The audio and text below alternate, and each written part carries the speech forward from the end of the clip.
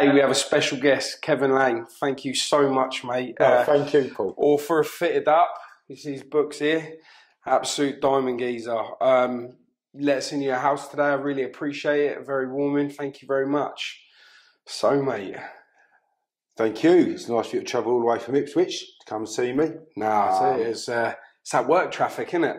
Yes. So work traffic. Normally, we, we we'll we'll get up really super early, so we miss all this work traffic, traveling in the dark, go home in the dark, you know. But uh, yeah, we hit all the traffic on the way over here. I know how you feel. I'm out the door between five and six every morning. We're normally about half five, sometimes earlier. Out the door every morning. Crack, bosh, up and out. Yeah, Try to miss the traffic. So, uh, fit up and fighting back. fitted up and fighting back. So this is your uh, first interview since you've been out. I've the second one. Second one. Okay, but uh, yeah, you're going to get material that uh, isn't out there, so it's live and it's raw with you. Um, obviously, I was recalled Mhm. prison, so I got recalled based on a conviction for contract killing. I've had that hanging over my head or around my neck, should I say, like a noose that people can tighten whenever they want. Because you're always on, you, you're, you're walking a fine line. So you get somebody who can report you for something that you haven't Yeah, done. you're always under the watchful eye. I guess you're never ever from it. So anything that you can say could cost you your liberty in any Oh. any place whatsoever. How how does that make you feel? you're just treading on eggshells at times. So you can have people. If I'm in a car, for instance, and I'm driving down the road, and you get people who've got road rage for whatever reason. Some people just kick off for no reason. They they get out of the car and they start. They come up to the car to start punching the windows. It's kids in the back of the car. Or you got your girlfriend in the car. Whoever. You could have my auntie Junior who's ninety, sitting in the passenger seat. You can just sit in the car and they keep punching the window screen or punching the window. What would you do? I would get out. I've got, I think 99 percent of people would get out. I would get out. I'd get out before they got to the bleeding car Mhm. because you know they're hell bent on either damaging your vehicle or I'd get out to try and say, hold on, mate, what's the matter? What's Yeah. all this about? You know, "F- calm But down. even that, even that, like you getting out and and it, because you've got out of the vehicle, you've you've lined yourself up there straight away. You're lined up if you don't do nothing and you're lined up if you do. So then, say for instance, we are talking this scenario here. They fire punching you, you say, mate, you give them a bang, they fall over, you've assaulted them. You know, mm-hmm. self defence. But until that self defence has been resolved through the uh, criminal justice system, you will go on remand. So you'll get pulled back into prison until until the court case is till the court case is sorted out. So, um, Scary times, man. I mean, I served 20 years in prison for a crime I didn't commit. So, first of all, you've served a very unjustful sentence and you've been held at the highest grade that criminal justice can throw at you. And I was held at what's called triple category A. So, most people know what Cat A is. Yeah. Uh, Cat A was brought in for the IRA and it was brought in for serious gun crime or drug cases back many years ago. Mhm. And then, of course, the way society's evolved, there's so many kids now with guns and there's so many people drug dealing, the landings are full up. They can't make everybody Cat A. Mm. So now you've got people in B category systems doing 30 years or 40 years sometimes in a B cat. They would never been in there Yeah. in those years ago. So Cat A is what people really recognise. Then you've got double A, which is high risk, and then you get exceptional risk, which is triple A. So I was held at tri- high risk and then triple A. I was upgraded to triple A. And I was the only man in this country held at triple category A whilst on remand. I'd say back t- 25 years ago when um, I don't say this in an insulting manner to criminals of today, but it's where people were committing crime and they was putting a bit of work into a bit of crime. So the Hatton Garden, Kenny Collins, dear friend of mine, is in my book. Speak to him all the time, you know, visit him when he's allowed. Um, it took, you know, if I say two years, it's just under that to plan that bit of work Yeah. year and a bit, you know, and they plan it. Now, that's all gone. So, years ago, the old school criminals around the landings, uh, you'd get a K, but nowadays everybody. So, I was in the unit with the likes of Kenny and various other people in uh, the criminal fraternity in England that you see in the papers a lot, and families and names of people or crimes that you'd read about in the papers. And it was a shock to me. So I was on remand for that murder, held it at a grade, wrongfully, couldn't touch no one. And I've described it in the past as like a, a, a, a, a war, an escape camp with all lights and helicopters and barbed Yeah. wire and dogs going round it and all, you know, big, big bleeding floodlights and torches, you know, on the bleeding German war camp, prisoner camp thing, you know. You mm-hmm. see it in films, didn't you? Yeah. And that's what it was like.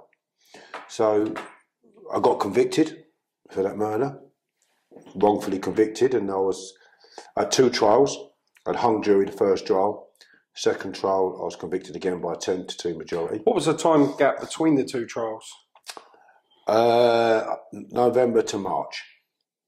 And the reason they brought it forward so quick, well, I feel it was quick, was because the prosecutor, he had cancer of the tumour of the brain or something like that, and he, and he died. Um, he died a month, less than a month after I was convicted. Wow. So that allowed him to bend the rules and say things he shouldn't have said during the trial. Yeah. Um, but he's dead now, so I'm not going to labour on about him no more. He did his job. Uh, no doubt he's probably a decent old chap. He just wanted the conviction, and he got it. Um, which that brings me to. So I'll tell you a little bit more about that in a little while. So I was in the unit, going to court with armed police, Mhm. helicopter above the van, going down roads that are shut off, going round roundabouts the wrong way, armed police everywhere. Full on then. So they they they really um, what did they just think he was going to escape or something? Well, they said, like, um, I'll tell you it all came about. So, this gentleman here, can you see that? Can you put that up to the camera, please? Let's have a look at that gentleman's face. Is that is that all right there, Jay? So, that gentleman there is, is a fellow called Roger Vincent. He got arrested for my murder. And when he got arrested for my murder, he began, he engaged in a number of confidential chats. So, again, this is Roger Vincent's custody record. And could you just hold that up again, Paul, please? Sorry, I won't keep, and just to, right. so you can see, hold it there for a little while, and you can see all of the signatures on there, which is Roger Vincent, and he's uh, he signed it five times. So this is his custody record, and in his custody records, he begins by saying a visit from D.S. Spackman. D.S. Spackman was the investigating officer in my case, and he subsequently got convicted for a number of activities some years after my case. But all of the things he did in his own case, he did in mine, and he did in that of another case that was subsequently acquitted. But this is a custody record. So Roger Vince has been arrested for murder with David Smith. And it says a visit to from D.S. Spackman to ascertain if wanted to have an informal chat. Vincent confirmed he was happy to have an interview without his solicitor being informed or present. Okay, so then he goes off to the interview room. He then goes off again to the interview room the next day. And he signs that there, by the way, Roger Vincent. He has to sign it on the page. So there's another one. Uh, taken to interview room at his request and spoke regarding sensitive material to DS Spackman and DC Kennedy. All right. So we've never been given the interviews of those. So I was arrested off the base, basis of these him, Roger Vincent, being arrested for murder. And he was going around the area telling people he committed the murder, calling himself, him and his mate Ronnie and Reggie, telling people how they committed it. Self-proclaimed. Huh? Self-proclaimed, yeah. He was seen to be showing off a gun in a pub called the Smugglers Cove pub, um, where uh, a number of things happened in that pub. So th- there was a car used in the murder. The gentleman was caught with a car. That's his local pub. It's Vincent's local pub. Uh, he turned around and said Vincent gave him the car and asked him to dispose of it. Well, I never got that statement until 2007. I was convicted in 1996. So if I'd have got that statement from the gentleman who was caught with the car saying that Roger Vincent gave it to him and asked him to burn it, I wouldn't be here now. I wouldn't have been here now if those confidential chats that Roger Vincent had in the police station, okay, had been disclosed. So, following the charging of Roger Allen Vincent with being concerned in the murder of Robert Magill, I spoke confidentially with Mr. Vincent at his request. And these are confidential chats that have been disclosed in the public domain on the 8th of November 1995. At the, uh, the Old Bailey. And there's references and there's casework details on there. It's all in the book for anybody to see. You can see I haven't made it up, and the book's been released now for a year. There's been no orders placed on me or no injunctions by the police or anybody. It's been checked. Well, if it's in the public domain, they can't they can't get this thrown against you, can they? Because it's public knowledge. Public knowledge. Public knowledge. And I've even got the court records for when the hearing was taking place in relation to disclosing the confidential chats. They was disclosed to Vincent and not me. So uh, I spoke confidentially with Mr. Vincent at Head's request. He reaffirmed that he had not been present when Magill was shot and was shocked that he had been charged with the, the offence. He wanted to do a deal whereby his charge would be dropped. In return, he said he would supply, through his solicitor, a statement accounting for his prints being in the car. And he would supply, on a confidential basis, details of the two persons responsible for the murder, the persons who put them up to it, including how much had, was paid. He stated that it had in fact been paid to kill Magill and that they were responsible for another one whereby, it's blanked out, had been killed. From the limited details he gave, it was clearly referred to a murder being investigated in Surrey. So that's two murders he's put me up for. He said that the killers had been paid. He intimated, I apologise for that, I should not have mentioned that. I'll bleep uh, that out. Yeah, I haven't, I haven't got their permission to say that, so that has to be blanked out. It's just because I'm not reading. a problem, I'll get that blanked uh, the fam- He intimated that a family, including blah, blah, blah, had an involvement. He stated that a thorough police investigation would net everyone involved with the exception of someone he referred to as, again, I can't mention that person's name, he's dead now, God rest his soul, but he had nothing to do with this bloody murder, who did not get his hands dirty. But that person that Vincent mentions in here, they're both well known people. So that brought the attention of the police to it even more so, because mm. they would love to have got these people in this prison. He wanted me to think over his offer and said that he could get his solicitor down to the police station on Sunday. There we go. Now, that's one of the confidential chats that Roger Vincent had with the police in relation to my conviction, that led to my arrest and my conviction. Okay? And that's what I was up against. So I served that sentence. 20 years I served, up and down the country, 18 moves in four years. When I came out of the units, I spent 27 months in the units. So I came out of the special secure units, and it's a prison within a prison. Mm. And I went on to the mainstream landings. But I found completely different. At the time, like, there's a lot of old school criminals in there, like I say, and opposed to in 2006, you're getting all the new age coming in. The young guns off the street for killing people for postal codes. There's a big difference, isn't there, between the criminal fraternity of old school and new school. Unbelievable. Um, uh, I'm sure, like you living amongst them, you could tell. Um, at, at, some point, you might, you guys must have just sat back and been like, "What the fuck has happened here? Like, what, what's happened to the criminal fraternity here?" I used to look around the landings and think, "You're spitting on the landing. We live here. What's wrong with you? Mm. Keep it clean for yourself." You're in the kitchen. There'll be a chicken there that's they've left defrosted on the side for the blood to run off all over the floor. Pick the chicken up, wash it, leave the blood. So you go and you go, I'd have words with them. I say, what are you doing? Yeah. Clean it up. You know, we live here. You know, we got, what's, you know, but in a nice manner. But, you know, you can only be nice so many times to people because they've got an attitude to start with because they're young and they've got a pebble in their shoe. They're walking like bleeding. Mm-hmm. You know, I don't know why it's the matter with the young kids of today. Robbing each other in their cells for their trainers. You couldn't do that when I was away. Nah. Rob people. You just you had, you had, you had respect for your fellow interns. It's all gone. So we see the changes. And then you end up becoming a bit of a recluse because you don't want to come out onto the landing so much as you once did because you want to be away from all away the shit yeah. that goes on out there. And it's all bickery and gossipy and they're directing their anger at each other because they're unhappy about being in prison. Mm-hmm. So that has to go somewhere.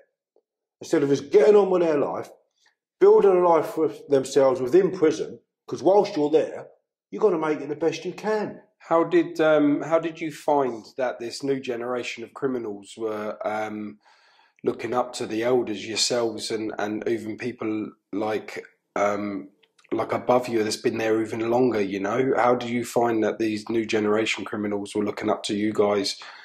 You know, because so because you're old school and the way that it should have been done criminal wise with respect and, and morals between the code between you guys. And when you come across these new youngsters that don't care about any of that stuff, how was you guys looked upon? They don't care about it until you've got a reputation. And if you've got a reputation, well, they know you will come into that cell, whether there's one of them or three of them or four of them or five of them, and stand your ground, yeah. then they respect you. Why is it violence gains respect? Yeah, I, I, I never understood that. It is mental. So you can. Me, I walked around them landings as happy as Larry and as friendly as anybody. And people said, like the start, my reports always said, Lane's good for the landing. He's happy. He's, he's, he, he doesn't like bullies. I did have a lot of moves around the system. I had a lot of problems. For saying I won't have a paedophile live on the landing. Yeah. I won't have a rapist on the landing. Yeah, you know? of course. And there might, there's been a couple of fellows who fighting their injustices and they've been in 15, 16 years and they wouldn't go on the numbers. And people knew of his case because they lived in the area. And that's one fellow who, who stayed on the lands I ever come across. It was in for rape and he, he swore and he was standing his ground, right? And I respected him for that, okay? But there was a lot that, you know, you know, ain't there's a smell about them, what they've robbed women by knife point, and they've robbed nine women, two of them have been pregnant, mm. for instance. That did happen, and I chased the geezer off the, off the wing.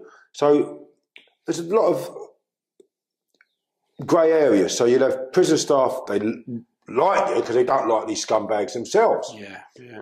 But um, eventually you end up having to realise that you're just never going home if you just don't let these vermin, vermin live on the landings mm. or come in and con- convert to Islam. And unfortunately, it's an insult to Islam because they come in, they take drugs, they're drinking, they're watching porn, they're not respecting the religion, which is a peaceful religion, mm-hmm. but they're, they're, converted to Islam to be part of the bigger gang. But they're abusing the religion. So then that was a, that caused a lot of problems because you've got the terrorists coming in who are doing bombing, boiling up fat, melting bottles down, and putting batteries in uh, a pan and anything that would melt, and then putting over people's heads. So then they adopt the same bleeding war tactics. Exactly, yeah. And it's just it messed the system up because it didn't matter if you was black, white, red, grey, yellow, whatever you was. If you was a good person, you got on with your other mates, people you lived with on the landings. The new crew come in, of course they've got beef with you because you live across the road and they've shot your cousin. Yeah. So then they're rather than have a good old straightener, ball some fat, get some ghee, sling it in your face. Mm. Nasty places to live around. So it, it, it made the system very, very electrifying. Like people was looking and, and, and, and, waiting for the next incident. And I went all through that. And the way I, I tried to get through it was work on my case day and night, every single day. I very rarely had a day off. Didn't have a TV for 20 years. And I trained. I was a gym That's good for the brain. Not having a TV and focusing on, on this, very good for the brain. Paul, my barrister, Joel Bennathan, QC, he says I was the most uh, well represented client he has ever had. And I to draft my representations up. And you've had a look at some of these earlier. Yeah, have, so yeah. representations to special counsel. And this was in relation to Roger Vincent's confidential chats. So I made my representations in relation to his confidential chats saying that how can you be charged with murder? And, so I'm going to go back a little bit. So um, I spent a lot of time studying, getting into the paperwork, and, and I, I wrote over 10,000 letters. And like I said, I didn't have a TV because I feel it makes the brain go numb because mm-hmm. you're clicking there, click, click, click, thinking about outside mm-hmm. when that's no good. You need to be consumed in something. A book, yeah. excellent book. So I've gone from getting expelled from school I've always worked. I've always done really well. You know, I've worked for Irish Life, mortgage broker, and stuff like that. In the end, I just messed around in school too much. But uh, I've got a brain in my head, and I've proved that. Yeah. So I've got two businesses now. I'm, you know, having a go. Um, Good. Which I mustn't crumble, complain about. Um, one of them turned over three and a half million pound, uh, and the other one about the same. That was in three years. So that ain't all profit, of course, but uh, they're no longer in now because of bleeding COVID. Oh. So I've had to come back out again and get started again, but that's another matter. So um, I studied and just pulled myself away from him. So when I was in the unit, Kenny Collins was in there many years ago, Mhm. and he used to have Ralph Haeems. Ralph Haeems was represented the Krays, and he told Kenny that a deal had been done because Roger Vincent also had Ralph Haeems, and he said that the deal's done. Your pal's going away, Kenny. He said Vincent's getting out halfway submissions. Lo and behold, it the judge stopped the trial. Bear in mind, don't forget, Vincent was being kept up and down the prison in different prisons, and I've got legal documents from his prison record where it says special visit on Freeze landing from police. Police interview went well, and he was seeing different police forces due to the different murders he said that I'd done. So, and obviously he was brokering How many deal with them murders has he said that you've done? three that I'm, I've got on record.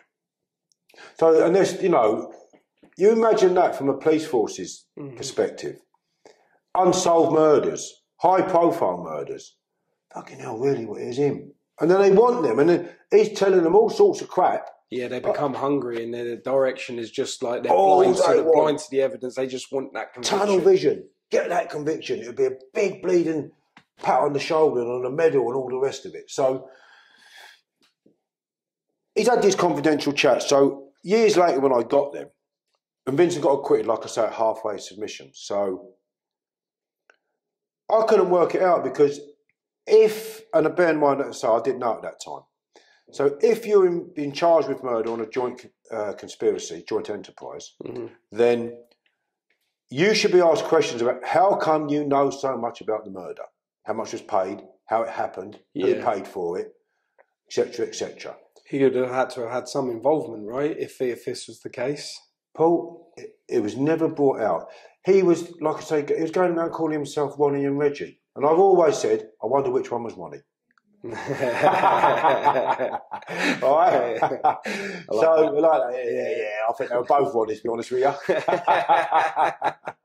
no offence to them, but you know, be- Yeah, yeah. you know. So, um, if they'd have, if they'd have come out with that at the time, I'd have said, "Well, you need to ask my accuser," because before they came to me, they went directly to Roger Vincent because he was going around admitted to the murder, showing off a gun. His fingerprints are in the car. He was given a car to the gentleman who burned it and said, "Get rid of it."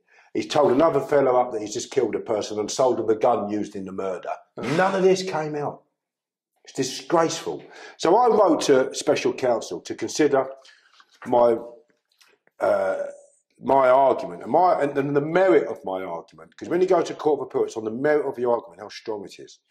And I was just saying, how can that be that the jury was not made aware of all this information, as well as supplying the information with uh, the police with information about the murder? Surely it should have been for the jury to decide if he was guilty or not. Where he couldn't account for the day of his murder till six months after the murder during police interview, he withheld that. The pl- the Bent police officer said he didn't find it uh, a priority to find out where he was on the day of the murder.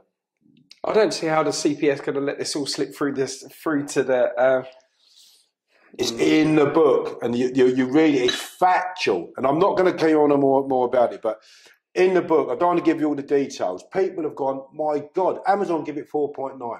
John Bolton of Netflix, What Makes a Murderer, powerful reading, yeah. and I could go on and on and on of celebrities and people that are reading it, journalists, and Duncan Campbell, Julie Christie, Oscar winner, voted top ten in the world for beauty in her days of acting. Still a very beautiful lady now excellent read, couldn't put it down. And I could go on and on and on and on and on.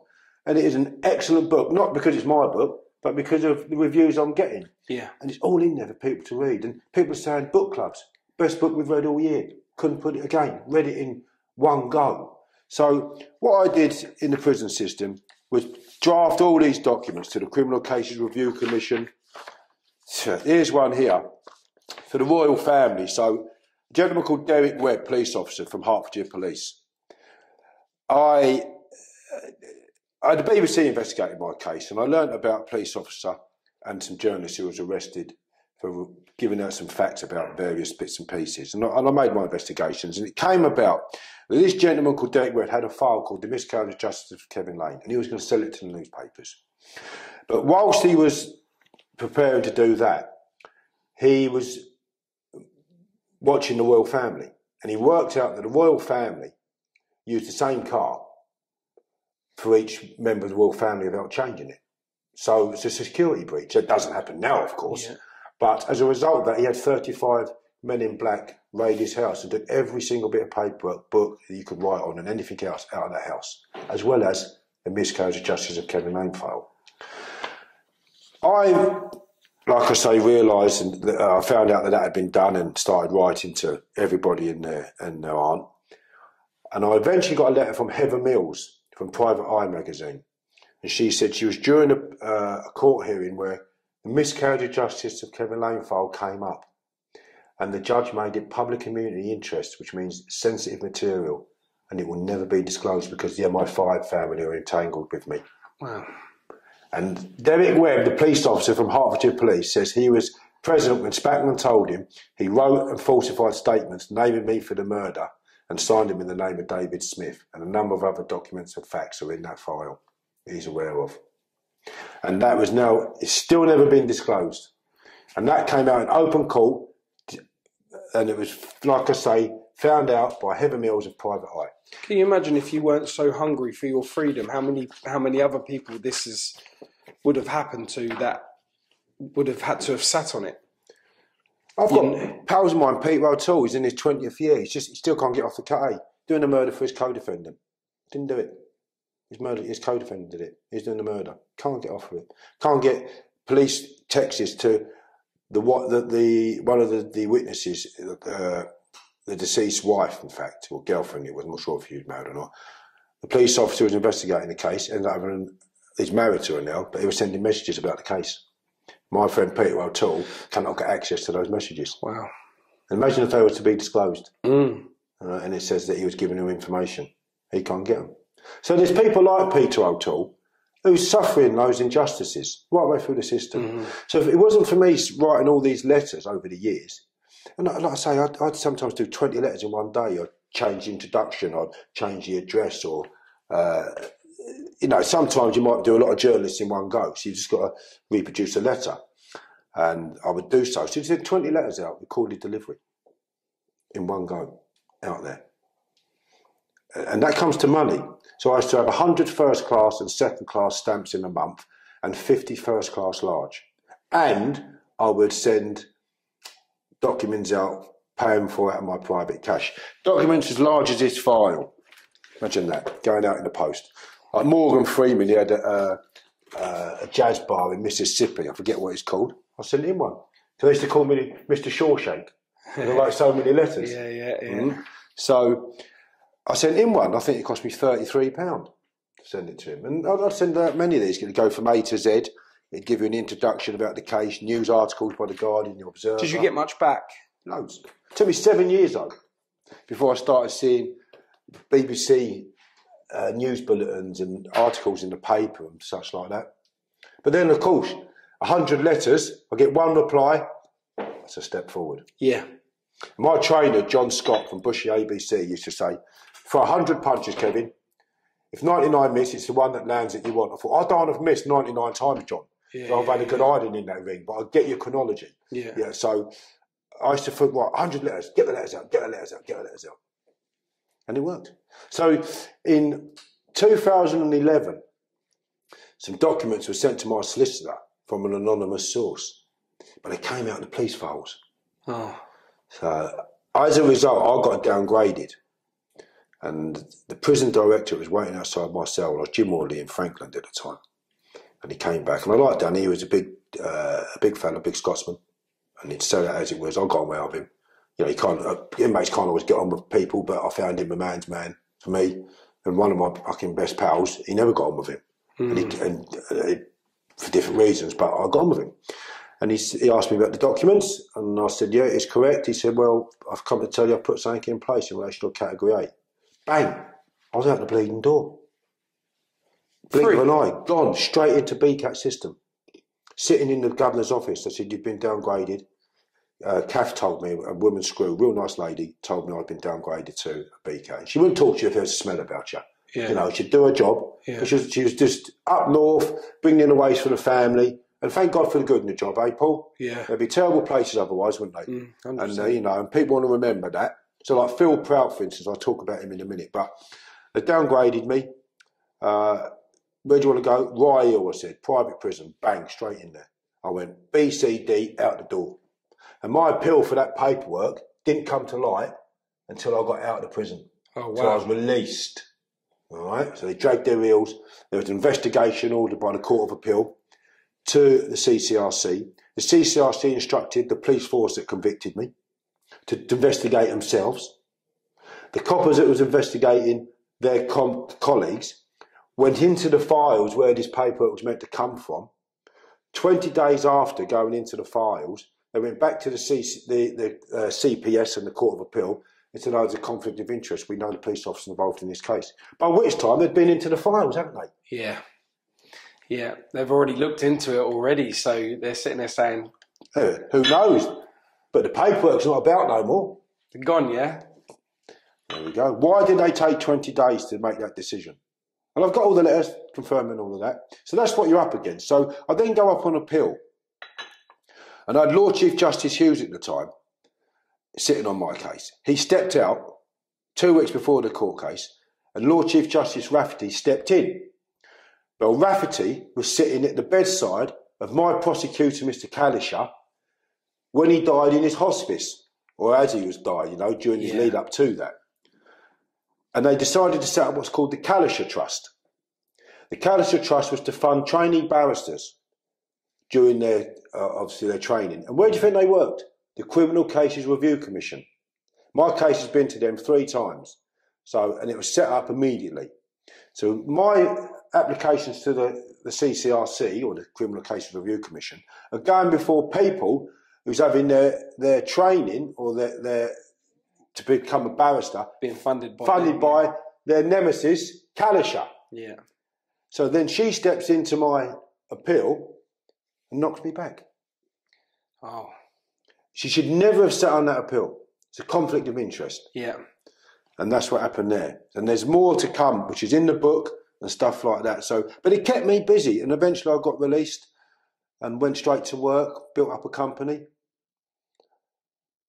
What was it like being released back into? Because, you know, like in prison, they say that um, time stops, but outside it doesn't. So when you go in, everything is like how you think it is, and you you due to come out, and then the world is just so different, and it does change so fast. The outside world it changes so fast, like technology, everything else. You know, um, the fact that you'd gone in.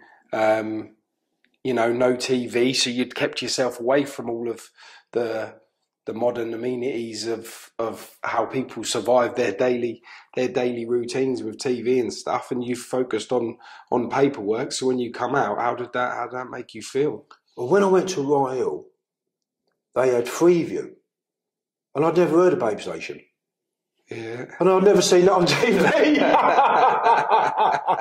Just switch it on. it used to be used to be the size of that book in a cassette. in the old VHS. yeah, bloody mind boggling. I thought, oh well, things have moved on. yeah, And then um, lots of big cars. You know, no rusty cars no more. Mm. Uh, and the, the the the culture had changed. We had Polish shops and for for the industry that was required their you know their skills Mhm. And Romanians and there's a lot of foreign people in the country from different countries, which you know it. it, uh, it you would have been the amongst them inside though, wouldn't you? Not as much. I started seeing an influx when the borders were open because of the guns and the drugs and Mm. such that were coming in from other countries, being driven through the borders and getting the king's ransom for it from where they come from, Mhm. going back and buying a house for a boot full of guns. And you wonder why there's so much gun and drug and tr- human trafficking in this country now because we've got millions of people that are here now after the working uh, culture came into this country Mhm. from Poland or Romania or wherever. But with that, they've settled, and I mean, it's just it's flooded. And I'm, I'm sure many viewers will agree with me. And that, that, whether you're Polish, good luck to you. You know, it's good and bad. But as a result of opening our borders, we let in people that we didn't want here. hmm And now you see it on the on the landings. Loads of different cultures for different reasons, and they're in for the crimes that I would rather they committed in their own country. Yeah, Because we've got enough people committing those crimes in this country anyway. yeah, it's extensive. It's extensive, so I see the change. and uh, for the better of our children, or their children, or the Polish people's children, or the Romanians' children who settled here. They would not want people bringing in the drugs and the guns and doing what they're doing in this country for the better of their own families. Mm-hmm. For where you live, you want it to be a better society, don't you? I always wonder, um, you know, when uh, we, I've, got, I've, got, some Polish people that work for me in my studio and that, and um, hard working, very, very Best. hard working.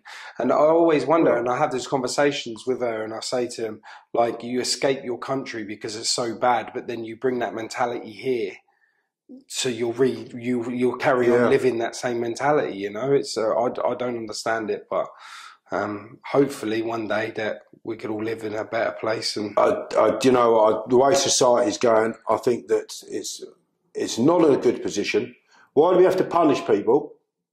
You go to Norway. Norway's got the lowest crime rate mm-hmm. in the world, and it's the best uh, for uh, living standards in the world as well mm-hmm. across the board. Yeah. And they forgive. Look at that geezer that shot all them students. No, the judges shook his hand. But that's a cultural thing. Yeah. Okay. But the, the mother who one of the daughters got killed, she's forgiven him because it just eats me up the hatred. So it's in their nature and their culture to forgive, which I can understand. Not everybody can do it. But mm. culturally, it's a beautiful country to live in. Uh, but I don't see this country going that way. No, I really don't because the country is indoctrinated to punish, punish, punish, punish. Well, you'll punish. have no faith in this, in in in uh, anything to do with British standards in in any way whatsoever, will you? Because you've been fitted up so so extensively that I don't think that you'll ever be able to regain faith back in in, in British in Britain. The criminal justice system is corrupt to the core, and it goes right the way through it. Okay, there's the good and the bad, but overall you had the Bridgewater three, the Birmingham six, Guildford four. Yeah, I mean it is like when you when you lay them out like that, like one after the other. I've, I've you know I spoke to some of these people and uh, yeah, they were fully fully fitted. Like and that four was five appeals. Crazy. Kenny Collins, Hatton Garden burglar. Mm-hmm. He's eighty years of age. Cancer of the esophagus. Served a three and a half. Still got a seven for the burglary.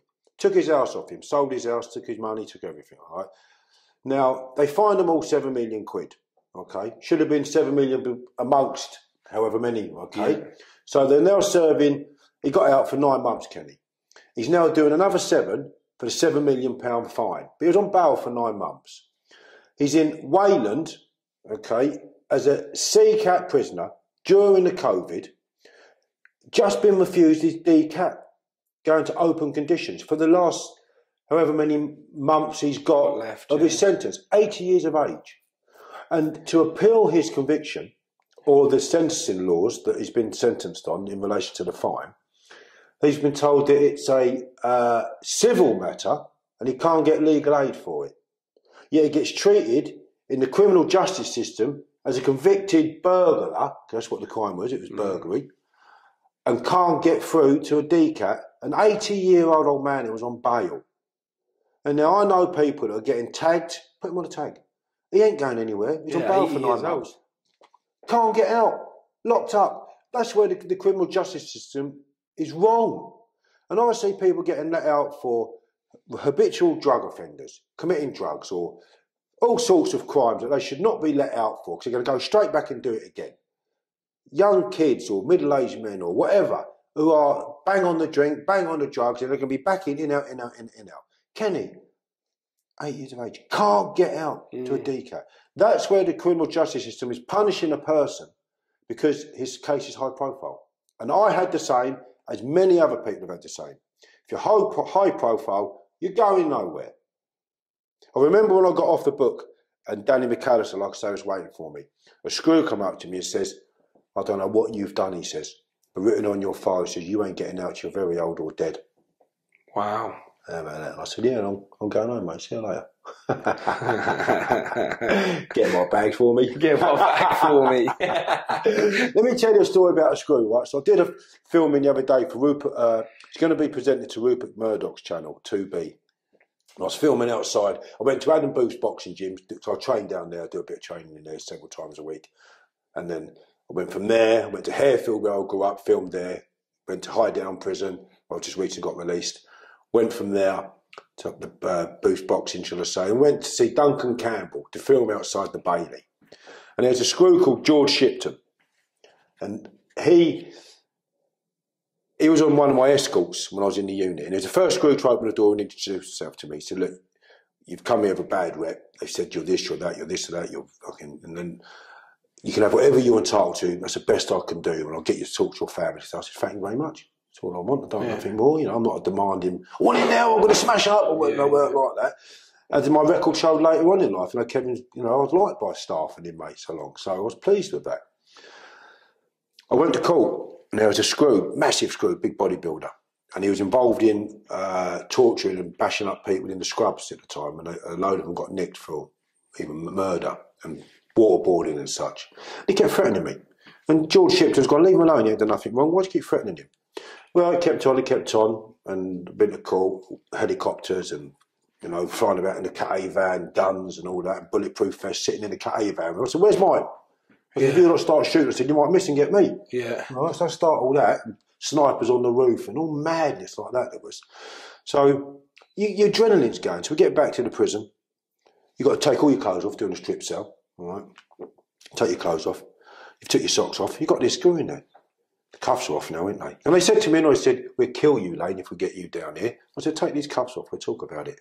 I was 11 stone 7 at the time, you know, I wasn't yeah. a big fella, but, you know, I wasn't worried about how big he was. It Yeah. didn't bother me at the time, you know. Don't tread on my toes, I won't stamp on yours. Yeah. Leave me alone and I'll leave you alone. So the cuffs come off and I'm in the strip cell with him now and there's two of us in there, two screws and me. He's show me the part, soles of your feet. I said, I've just shown you the soles of my feet. I said, would you think I'm a performing fucking clown? I said, don't keep on this because I ain't going to suffer your bollocks no more. He said, that's what I like, Bart. I crash, crash. Best punches I've ever thrown in my life. I wish my trainer had been. I went, crash, crash. He hit the wall, slid down, it went to sleep. We went to the other screw, it's all right, it's over. He threw his arms around me. they come in, they bend you up, didn't they? Yeah, Bloody yeah, cuff yeah. you, carry you to a strip cell, cut your clothes off you with big shears. They didn't cut mine off. I said, You cut my fucking clothes off. I said, You take them off. So they took my clothes off, leaving the strip cell to get cold and freezing Yeah. overnight and that, you know, on a bare concrete floor, like a bit of screeding outside your house. It's meant to you know, like, make you get calm and that, you know. Yeah. it don't make you get angry because you're, you're cold and you're hungry. Yeah, yeah, of course. So, anyway, George Shipton, he gave evidence for me. At- uh, I got Nick for GBH. Police come in and charge me, and he went to the governor of the prison. He said, "I was there when it happened. He was threatening Lane all day, and fucking, you know, he got what he deserved." And he, you know, so George had eight screws surrounding him. He Said, "You've got to make a full statement." He said, "I'm not doing it." He said, "I told him I'm- to leave him alone." So when I was doing the filming the other day, this is the story. So when I'm doing the filming, outside the Bailey with Duncan Campbell, for to be put forward for Netflix and Rupert Murdoch's channel by uh, Underworld TV. Ca- Cabs come past, beep beep, I've looked. It's George Shipton. Now the camera crew and, and the, the, the, the filming crew, they thought I'd set it up. I said, "That's George Shipton. He's in the book," and I told them the story about what I've just told you. Phoned George when we finished the filming. We had a cup of tea and that. He didn't answer. Then he phoned back. He said, I couldn't answer the phone, he said. And this what makes it so authentic. He said, I had a passenger in the cab at the time, Kevin. So I didn't know I was coming past there. I hadn't told people I was coming to the Bailey. You know, Yeah, if you yeah. kept it in-house. Her husband's a documentary and a filmmaker. She asked me about your story. And I was telling her. That's why I couldn't answer the, the, the phone, Kevin, right? So he just picked that cab up, that fare up. Yeah. That evening, a book was bought by a documentary filmmaker. No. Yeah, about that? you couldn't make it up, Paul, no, could you? no, definitely not. And that was George Shipton. And then you get people like, I've seen him now, and a fella called Phil Prout, I call him Knuckles. He's run boxing clubs. He's always trying to help kids to stay out of crime and that. He's not a screw no more. He's, he's works for himself. He's done banners and t-shirts, fitting up and fighting back. Sent to me. Bought a book. Bought banners and t-shirts and sent to my office for me to use. Wow. How about that? Nice. And he said, We've always believed in your innocence, Kevin.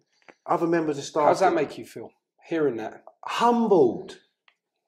Because Phil does a lot for charity and kids. He's always trying to help people. You know, he's always got Yeah, but the fact mindset. that before he'd done all that lot, he's um, he said to you, "I've always believed in your innocence."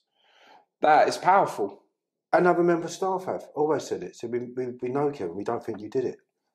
Uh, and we think that your case stinks. The governor said that to me.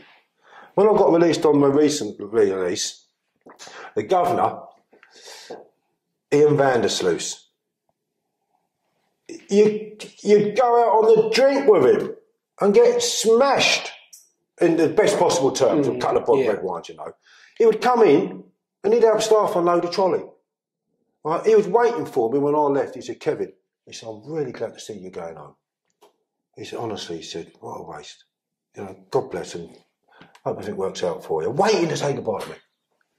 And you, again, thank God for the good because I know that governor, Ian, he goes around and he will, if he gets stopped and he will write your name in that down and he will go away and look into something himself. Do you know what it is? It's it's, it's like it's it's crazy because you must have come across such a like an imbalance of people, like them sitting there just being like, "Oh, you can fucking rot you." Do you know what I mean? Yeah. And then you'll get others being like, "I know you ain't done this, mate. I know," and and you, that whilst you're sitting in the cells trying to prove your innocence, which is heavily documented in in piles of documents you've got beside you, as well as in your book.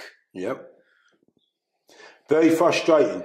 What I found, I was very angry for a lot of years. So I took my anger out on the people in prison, like I discussed earlier. Mm-hmm. So I would, if someone come on the land and he was a bully back in the day, I'd make a beeline for him.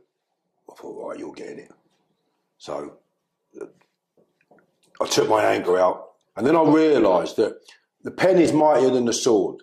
Yeah, And it took me years to learn that and years to control my temper. And the anger, it was forever going like a, a volcano inside. And then become a little Bunsen burner. Little flick. You know. And, and I think that happened as a result of my, my girlfriend at the time got killed in a car crash. I wasn't allowed to go to the funeral. All stuff like that. And it just, it breaks you. People, that stuff does break you though.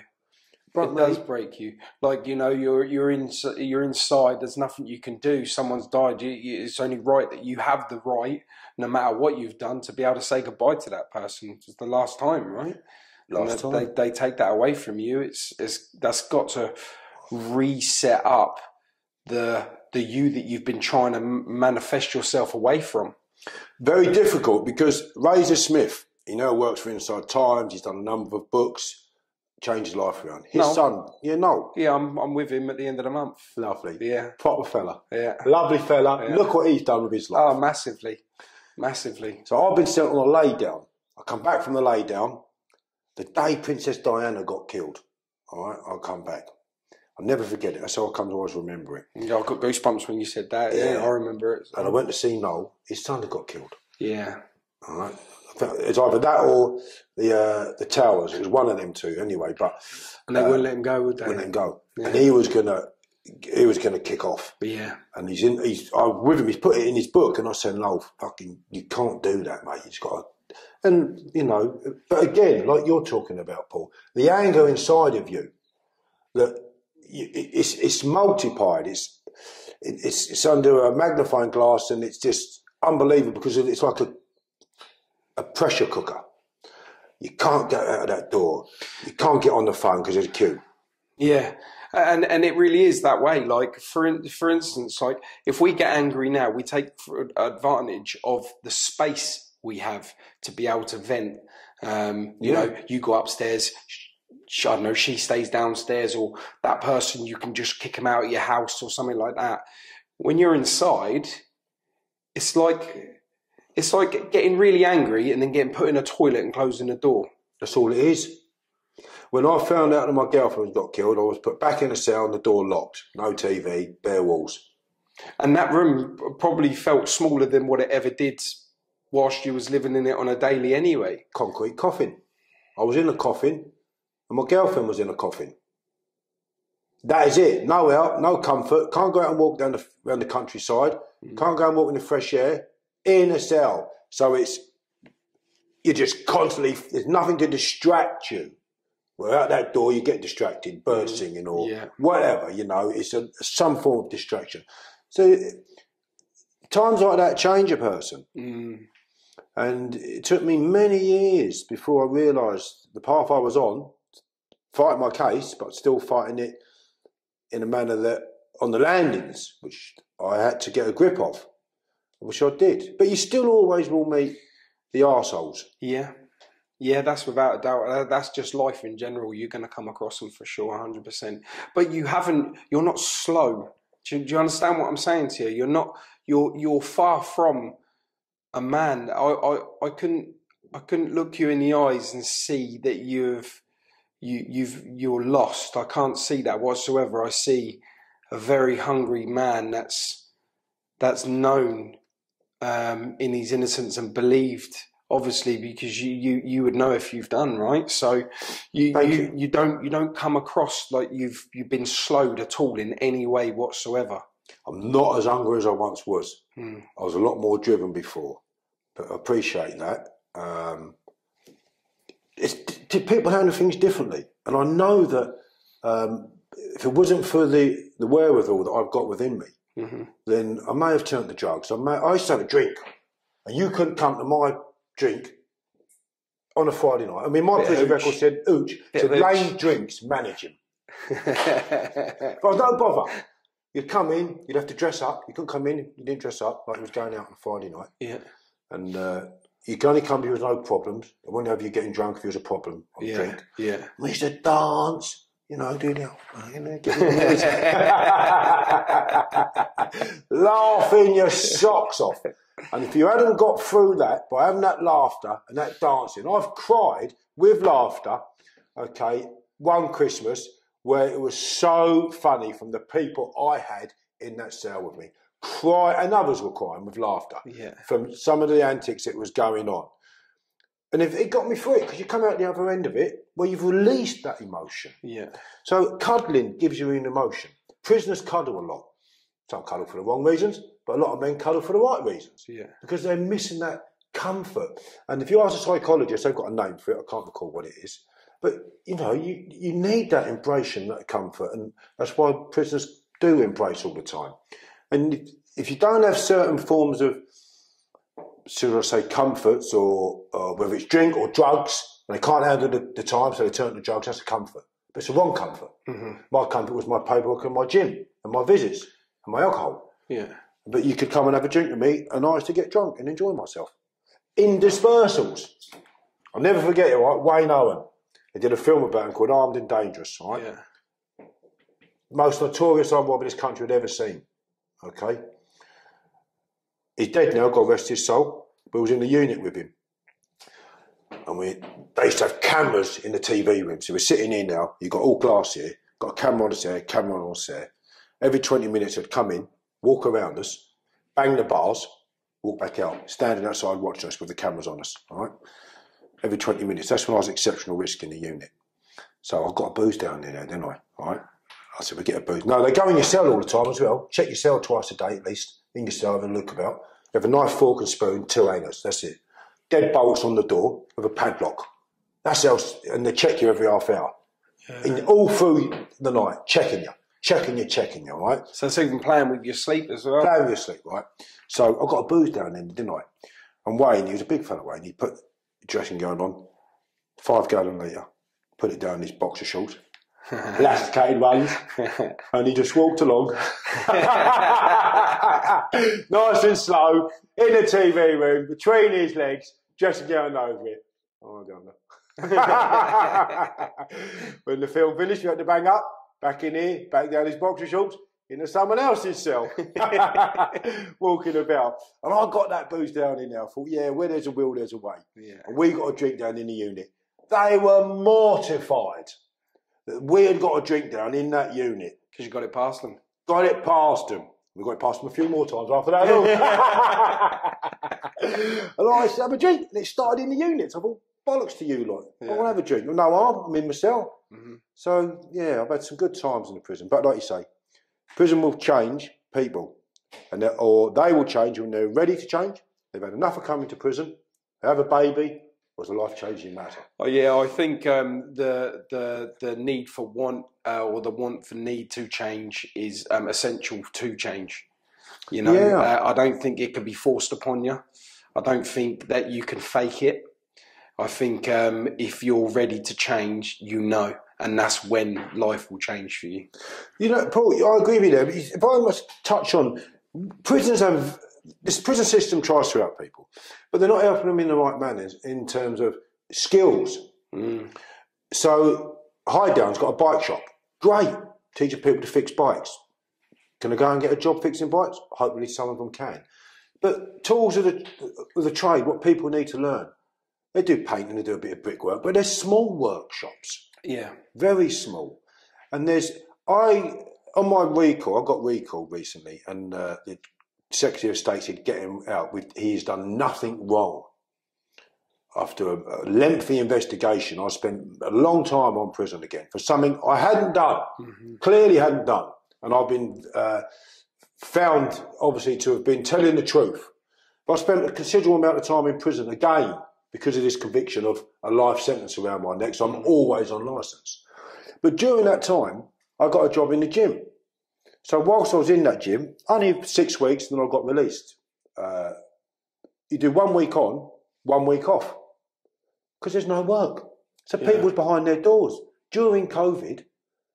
Some days you don't even get exercise, Yeah, but 30 day bang ups, didn't they? and you're looking at this for the kids who can't do their bang up. Mm. They will turn to spice or whatever they can get their bloody hands on because they're That spice is really like hit prison hard, isn't it? It is a terrible drug. hmm What that has done to people, terrible.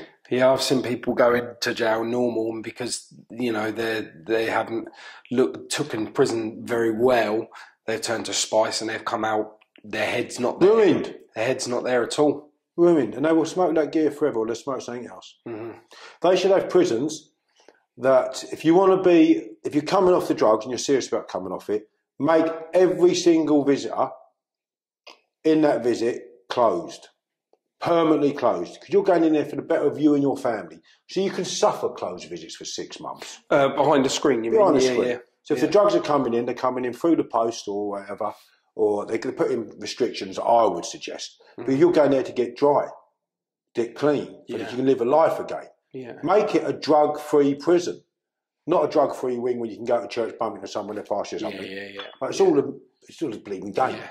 But there's things I think the prison system could do. Because if I was bang on drugs, say get me out of this prison to a prison where there's no drugs, I'll have no visits or I'll have closed visits. Total, total. Total, total. And I will do all the programs. I'll get in the gym, and I would make everybody go to the gym. I don't care who you are. You go to that gym twice a week, whether you've got to sit on the bike or you've got to walk on a treadmill. Maybe there's an alpha program that you could create. Well, I'm trying to get back into the prisons. To uh, some of my recommendations were made in Highdown when I was last there, and I feel I've got something to offer for the better of the system and the inmates. I, I, I believe that too.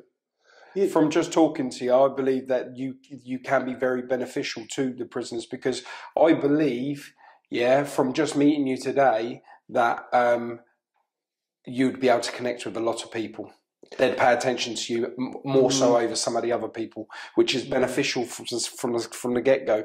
You know, so that's that's that for them to be able to have someone to be able to connect with, then they'd be able to tell you and talk to you. Um, I think you are that person. I've been there and done it, Paul. Thank That's you. But I don't preach to people. No. I talk from the heart. And Yeah, I say, look, exactly. this is the way forward. So when I did my things I did in the prison system, whether it was, um, you know, I've gone in a cell, pushed the door up, had a tear up with someone.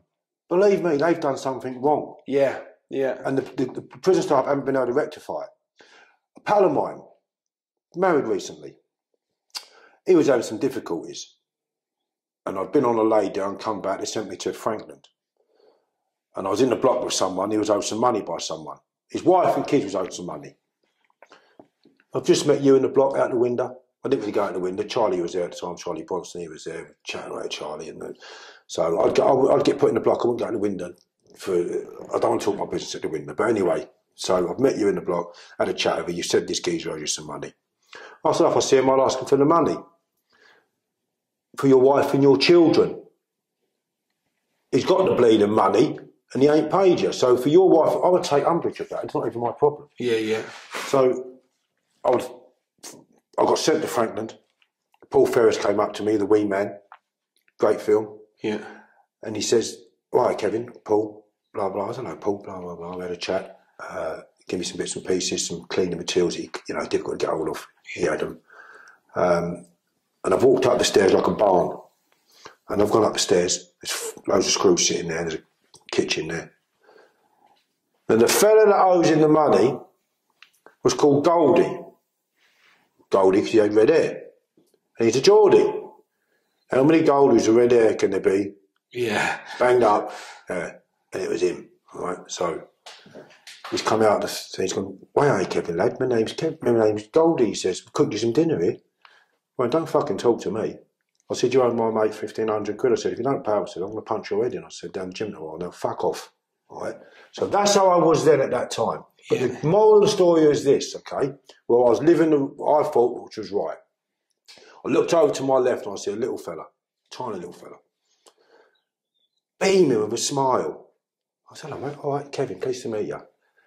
He said, yeah. I said, come round and see me tomorrow. Have a cup of tea. I had a little chat with him and that. That fella there was considering taking his life that night because that Goldie had been bullying him, Ah. all right, giving him grief in the prison, proper giving him grief. And he, he said to me, Kevin, I was, you know, thinking of taking my life that night, but after what that he said, he didn't. I went round to that Goldie, right? He was getting notes put under his pillow, my little mate. I was meant to be best man at his wedding, but I got recalled, so I didn't get to go to it. Oh? God. Gutted. All these years later, how things are turning around, Yeah. right? Little, my little, I'm not going to say his name because I ain't got his permission, but Yeah. um, he knows who he is, and I love him dearly and his missus. And he's put notes back under his pillow. He said, when the other fella goes back down south, you're getting it. So I went round, I knew it was him. I went round to this fella, and I says, I deputise you to take care of my mate. I said, if anything happens to him, I'm holding you responsible. Ever happened to him. so I have a laugh and a joke about the way, you know, doing good in the prison. Yeah. But sometimes you're doing good the wrong way. Mhm. But society has to recognise you're in a jungle there. Yeah. And you deal with the rules that are put in front of you. But society wants you to come to, to them and, and lead a law abiding life. Well, that's okay. But it doesn't work like that. So I've just been doing a bit of work with restorative justice. They've been contacting me because I kidnapped a fella many years ago. And it was part of this gang who was doing stuff. They was nicking some equipment off of my power. The police were contacted. The police couldn't do nothing. Uh, it's a businessman. Uh, this gang then threatened a girl. They've had a knife on them. They threatened the girl with a knife and a baby. So they were going to cut her and the baby. So my mate come back to me, said, "Can you help us?" Because they've now been back to the office as well. So I went and kidnapped one of these gangs. But the fellow I kidnapped was a storeman who was handing out the equipment, nicking it out. Apparently, okay. Yeah. And I, I took him away. Uh, I roughed him up. I ran him over a few times, and he was in hospital a week. Didn't even know his own name. I regret that, Paul, because I did it to the wrong person. He wasn't the fellow with the knife. Yeah. Now, there's many people out there, fathers of daughters and, and granddaughters, who said, if he'd done that to my daughter, I'd kill him. See how people think? Yeah. But because sitting on the outside looking in, I kidnapped him, so that was terrible. But what would you have done if it was your daughter? Yeah. All right. And so I'm working with restorative justice with this fellow that I did, and I look forward to seeing him and speaking You're going to meet him. up with him again. meet up with him and say, I'm so sorry for what I did to you. He ended up in the canal afterwards, bobbing about. Fella come along and pulled him out. I mean, I think he fell in the canal. I didn't put him in there. no, joking aside, of course, Your Honour. But at Allegedly. that time, allegedly. But at that time, I mean, he couldn't swim because his legs had been run over a few times. But you know, I'm glad he's alive, and I'm glad I can laugh about it now. But I was wrong what I did. Mhm. I went to prison for that. The jury found me guilty after a trial, two trials, in fact. I got bail because the police were caught falsifying statements and all sorts of other stuff that went on. And I got bail and I went, I went away 14 months later. And the jury said they made the wrong decision. Came back and told the judge they made the wrong decision, With putting you away. putting me away. And the judge said I took the law into my own hands. Vigilante type of stuff, you know. Yeah. So there's a very fine line at times. But I committed an act of a criminal act that is wrong. If I'd have done it to the fella with the knife, I'd have thought, well, I shouldn't have done what I'd done. He deserved it. Yeah. I can live with that. But I went away for, I got two years, two years, two years, two years to run concurrently instead of consecutively. And the judge said, no, there's be an appeal. And I said, I don't appeal, forget it. I didn't give evidence. I did it. I'm happy with that. But because I, what I did to the fella I did, I regret that. Yeah. But I regret that now, all these years later. Not when I was a young bloke full of testosterone. Yeah, it's mad how you, you do view things very very differently, um, emotionally too. How you how you you, you absorb that information um, is very very different from when you've got the testosterone of like I want to be big and bad to Yeah, I'm a man of the world. Yeah, and then when you start when you take away all of that, like you know, like you know, pe- you're thinking that people respect you, and they they really don't because once you do go to jail or you die, people are happy that you're gone. Yeah. You know, and if you was truly respected for the right things that you'd done in your life, um, people would be they would be down. They would be sad that that you died or you'd Yeah, been taken right, yeah. away. You know that that's real respect, and I don't think a lot of these kids, especially today, um, realize that um, gaining respect long term is from good acts, not bad. I wrote, uh, people should be more mindful of their actions because they have lasting effects on people. Mm. And I hope I haven't had a lasting effect in a damaging way to the fellow I kidnapped and many other things I've done over the years. But I wrote a uh, uh, I was asked to write a piece in a book called Respect and Reputation by Charles Bronson. Uh, he said, Can you write a few paragraphs, Kevin? So I ended up writing nine or 11 pages now, I can't recall. I didn't change one word of it. I said, res- respect and reputation. Some people chase respect and reputations. It's the wrong way. People respect and a, a reputation can be gained without even trying to get a reputation. Yeah, Respect can be given for exact reasons you've just said, because you give other people respect, and you you're not shoulders back man, or you're a very humble man, and mm. You know you just go, but you're not looking for any problems, and people respect that. If you was a four foot five uh, fella and you hit a geezer with a tray and been bullying you, you'd get respect and you'd get a reputation. If you was a six foot five fella going around bashing little fellas and taking off their canteen, you get a reputation, but you wouldn't get respect. There's a difference, isn't there? But they think they've got respect yeah. because people are frightened of them. and, and I think that's where a lot of people falsify the the um, uh, I don't even know how to put the words in there, but um, where they believe that they got respect because of who they are or what what they are What- what like they've through, done. through Mental. things. But yeah, but it's not. It's through fear. Absolute mental. Through fear, and and of course they thrive off of that. They, you know, they walk through the town centre or they walk through the prison yard or whatever, and everyone's like, "You're right, you're right, you're right," and they're not saying it because they want to know that you're okay. They're saying it because they don't want you to lump them. They've they're absolutely shitting themselves. and Yeah. think, you are a nasty piece of work. Absolutely horrible cunt. But they'll say, "Oh, he's right, he is," you know, because they don't want that. So they they they're gaining these people is gaining notoriety within their life uh, where they feel like it's a long term a long term solution, and it really isn't. I used to bleed, and you know what?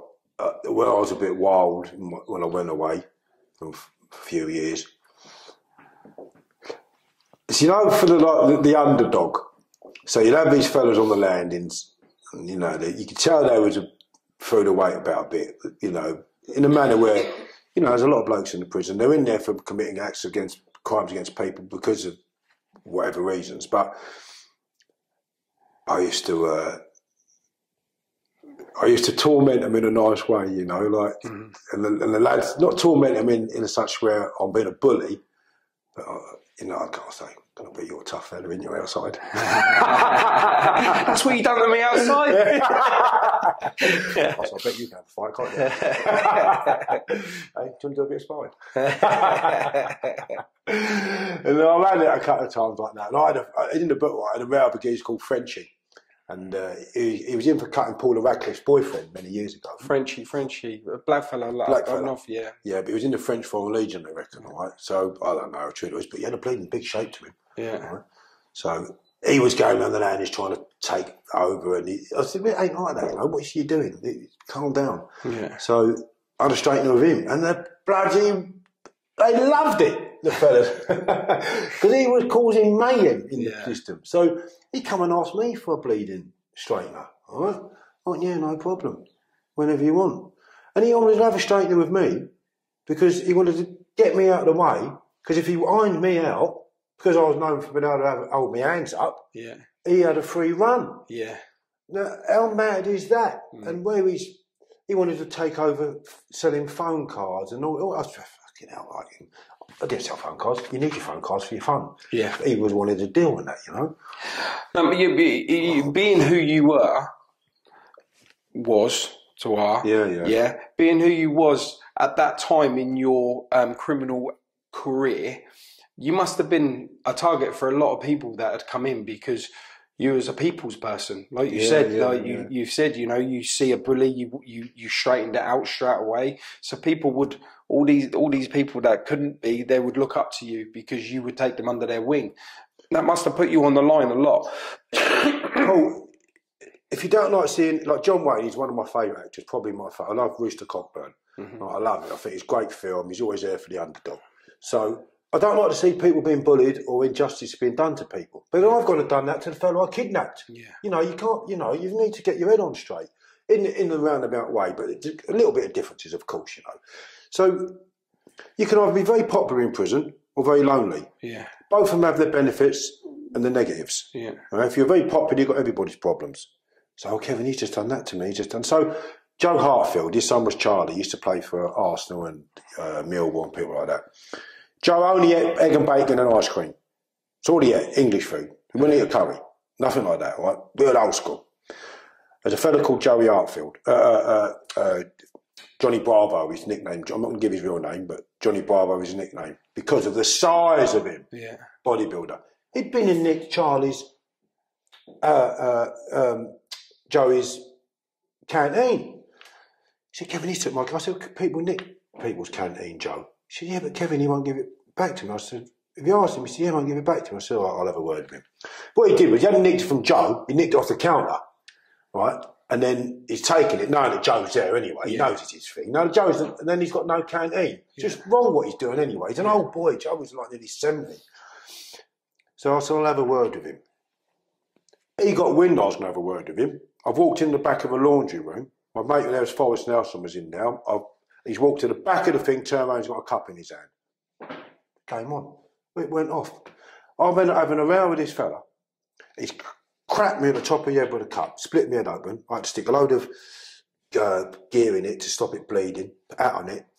Uh, in, ended up, I ended up pulling him back in. I broke my hand, all right, having a row with him, knocked him out, pulled him back in by his feet, gone to the gym, patched it up, kept a bob of that on, all right, on my hat, all right. And there's a big gash like that, pissing out my blood, running down my face, right. For having a word with someone over nicking someone else's canteen. I'll never forget it. Peter Fury. We used to train together, me and Peter. Hardest man I've ever been hit by. Could split a pair of gloves in within six weeks. God, could he punch? Tyson's dad. Tyson's uncle. Okay. Peter was trained by uh, Brendan Ingle, schooled by him. Yeah, yeah. And you'll see Tyson's got the same sort of uh, boxing. And he's in the book, Tyson, Peter, they're all in it.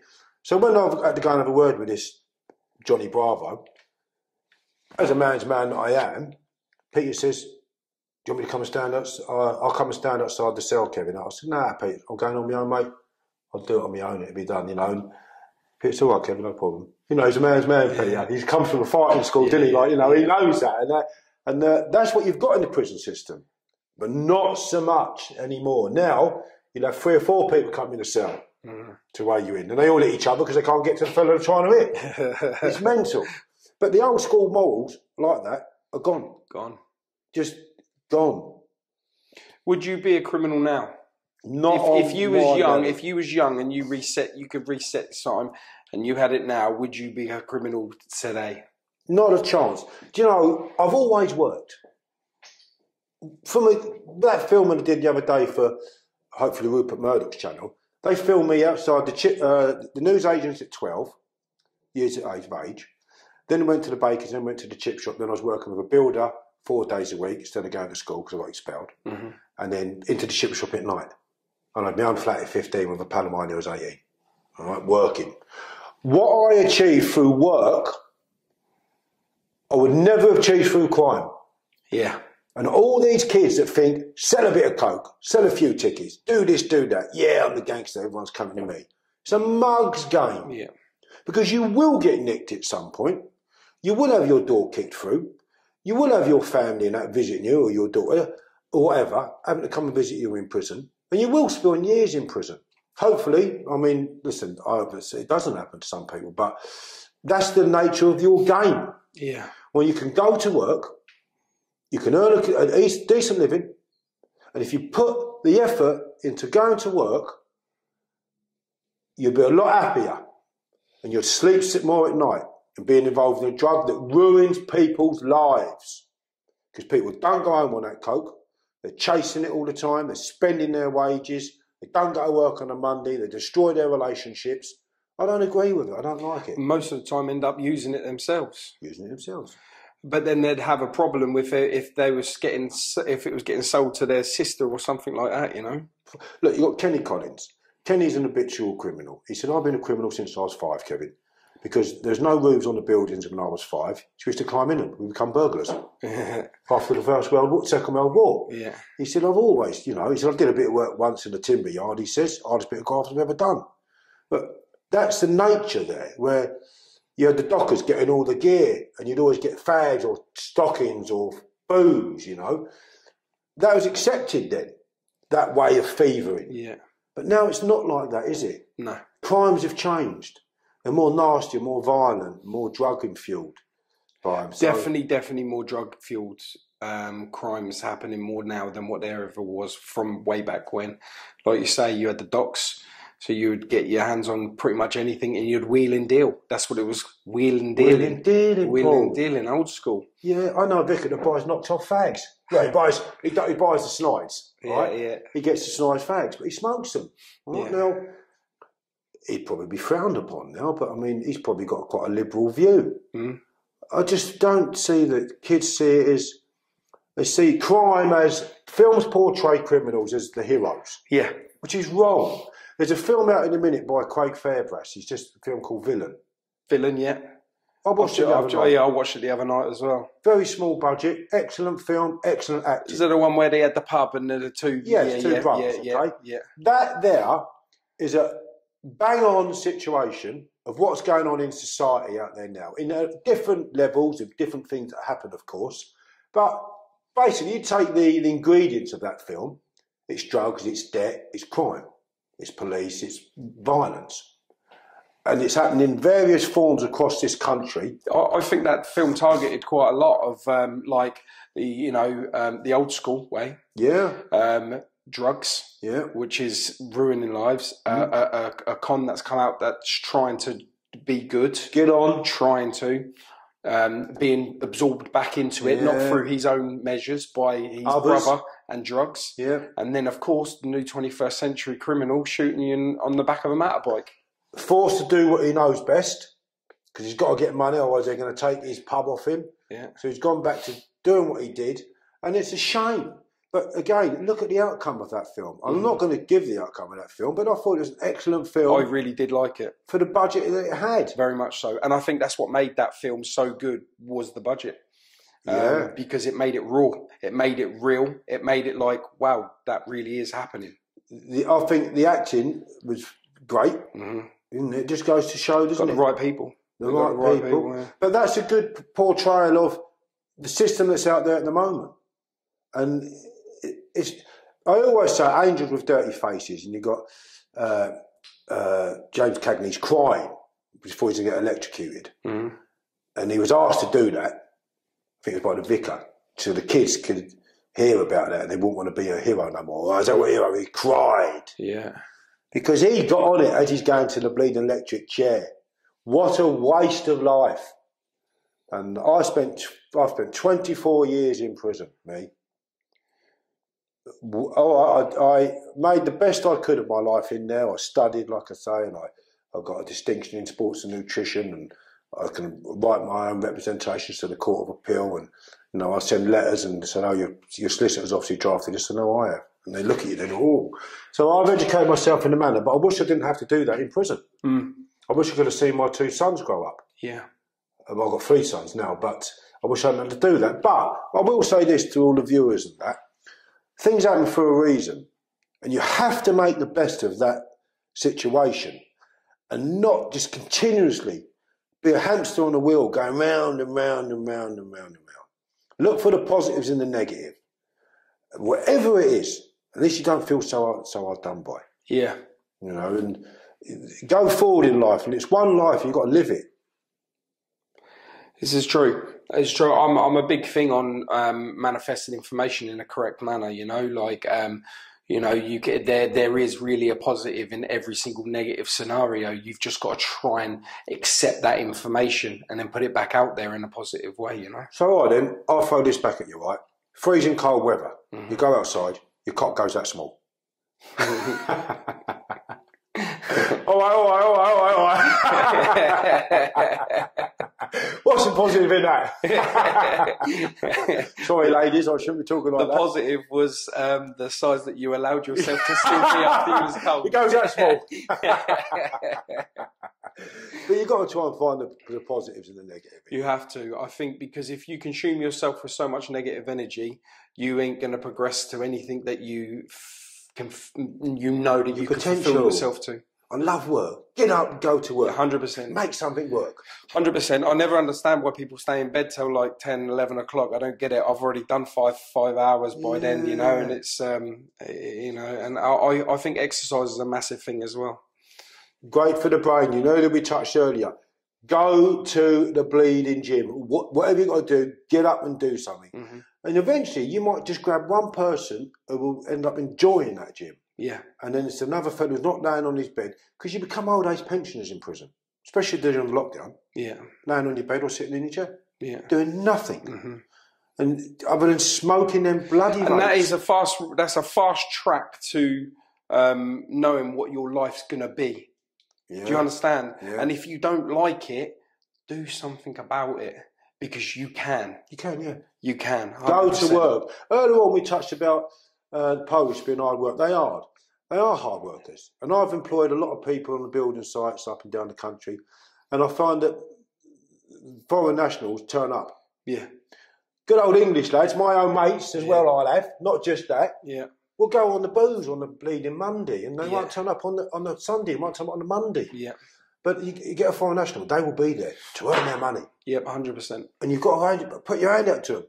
Ain't you? Look at the state of the country now, because we, we ain't got people that will go to work. Yeah, there's enough people on the dole, yeah or, or whatever they call it, bleeding universal credits. I think so I reckon this is what and they, some people won't like me for this. I say, you want universal credits? Well, I'm telling you now, come Monday or Tuesday, you're going to be here and you're going to do that. Oh, disability, got a bad Yeah, ear. yeah. Fucking hell, you was dancing Friday night, all right, down the park, I'll see you. I, I, I think there's so many farms and that like that are struggling, so many businesses that are struggling. If you're getting free money, they should put you to graft, and then you'll watch. You'll do a full full full week's graft for your twenty eight pound a fortnight or whatever. Yeah, you'll soon Yeah, be like, you know what? I'm not doing this anymore. I'm going to go and go to work. Even if you make them do two days a week, three days a week. Listen, the, the, the, the, the benefits from working at McDonald's is massive.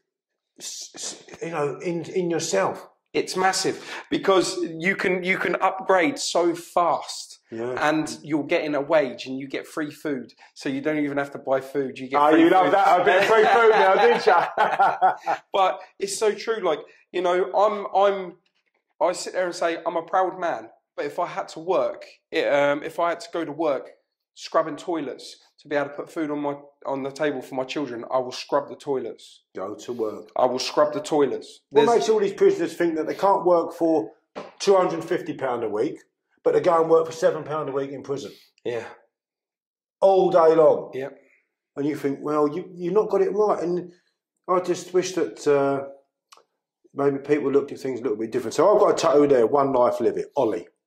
That's what it stands for. Yeah. One life live it. And you know, it's not just for to get out there, make the best of your life you can, be kind to other people, and just get on with your life. And you know, so, like you've got Iran, Iran, for instance, they punish them with medical supplies, and their children are dying. Don't you think if we gave them medical supplies and said, "There we go," the parents of them children say, "Britain, you wouldn't be alive if it weren't for Britain." yeah. What do you want to bomb Britain for? they've saved my children. Yeah. You know, with the nuclear bombs. Why do you want all these countries where we're punishing? Bring them to the table and give. Why is it the IRA, Jerry McGuinness and, and uh, uh, Martin McGuinness, actually, should I say? Uh, they was in the IRA, weren't they? Yeah. Gerry Adams. One minute they're terrorists, the next minute they're invited into number 10, Mm, Parliament, yeah. Parliament. And why was that? Was that because we come to the table for the Good Friday Agreement and started negotiating properly? And it only happened when the IRA started bombing the capital in the money centre. And as soon as we hit this country for money, we want to talk, Yeah. which it shows, doesn't it? Yeah. wrong. And I think that the politicians, not all of you, of course, but I think sometimes the structure of uh, going forward in this world shouldn't be punishment. It should be decent negotiation. Become a friend. We help you, you help us. I know it's hard with some cultures Yeah. and that, but you know you got bleeding some parts of the world. We've got kids going out with training kids with guns and co- chopping arms off. It's very difficult in there, Yeah. but that's education, I think. And uh, but still, I still think punishing people for prison by way of example isn't the best way forward. Uh, containment, yes, maybe, definitely, because you've got to have some people in prison, Mhm. But definitely not. I think England needs to really look at the system badly because we're following America. You've got land is now full up with people who ain't going home for many years. When they do go home, they're going to have nothing left. They've got that one prison that's in, in America. They call it Disneyland. Um, it's actually proven quite a success turnaround. Um, but people that are, um, you know, killing people in prison and stuff, that they've earned their way to be in this this prison where there's zero tolerance on violence or um, any gang related or anything, and it seems to be seems to be working. Um, It's good. We've got Yeah. Michael Jackson's monkey down there. They've picked up all his animals now, haven't they? He had a zoo, didn't he, the poor sod? He couldn't keep it going, could he? Nah.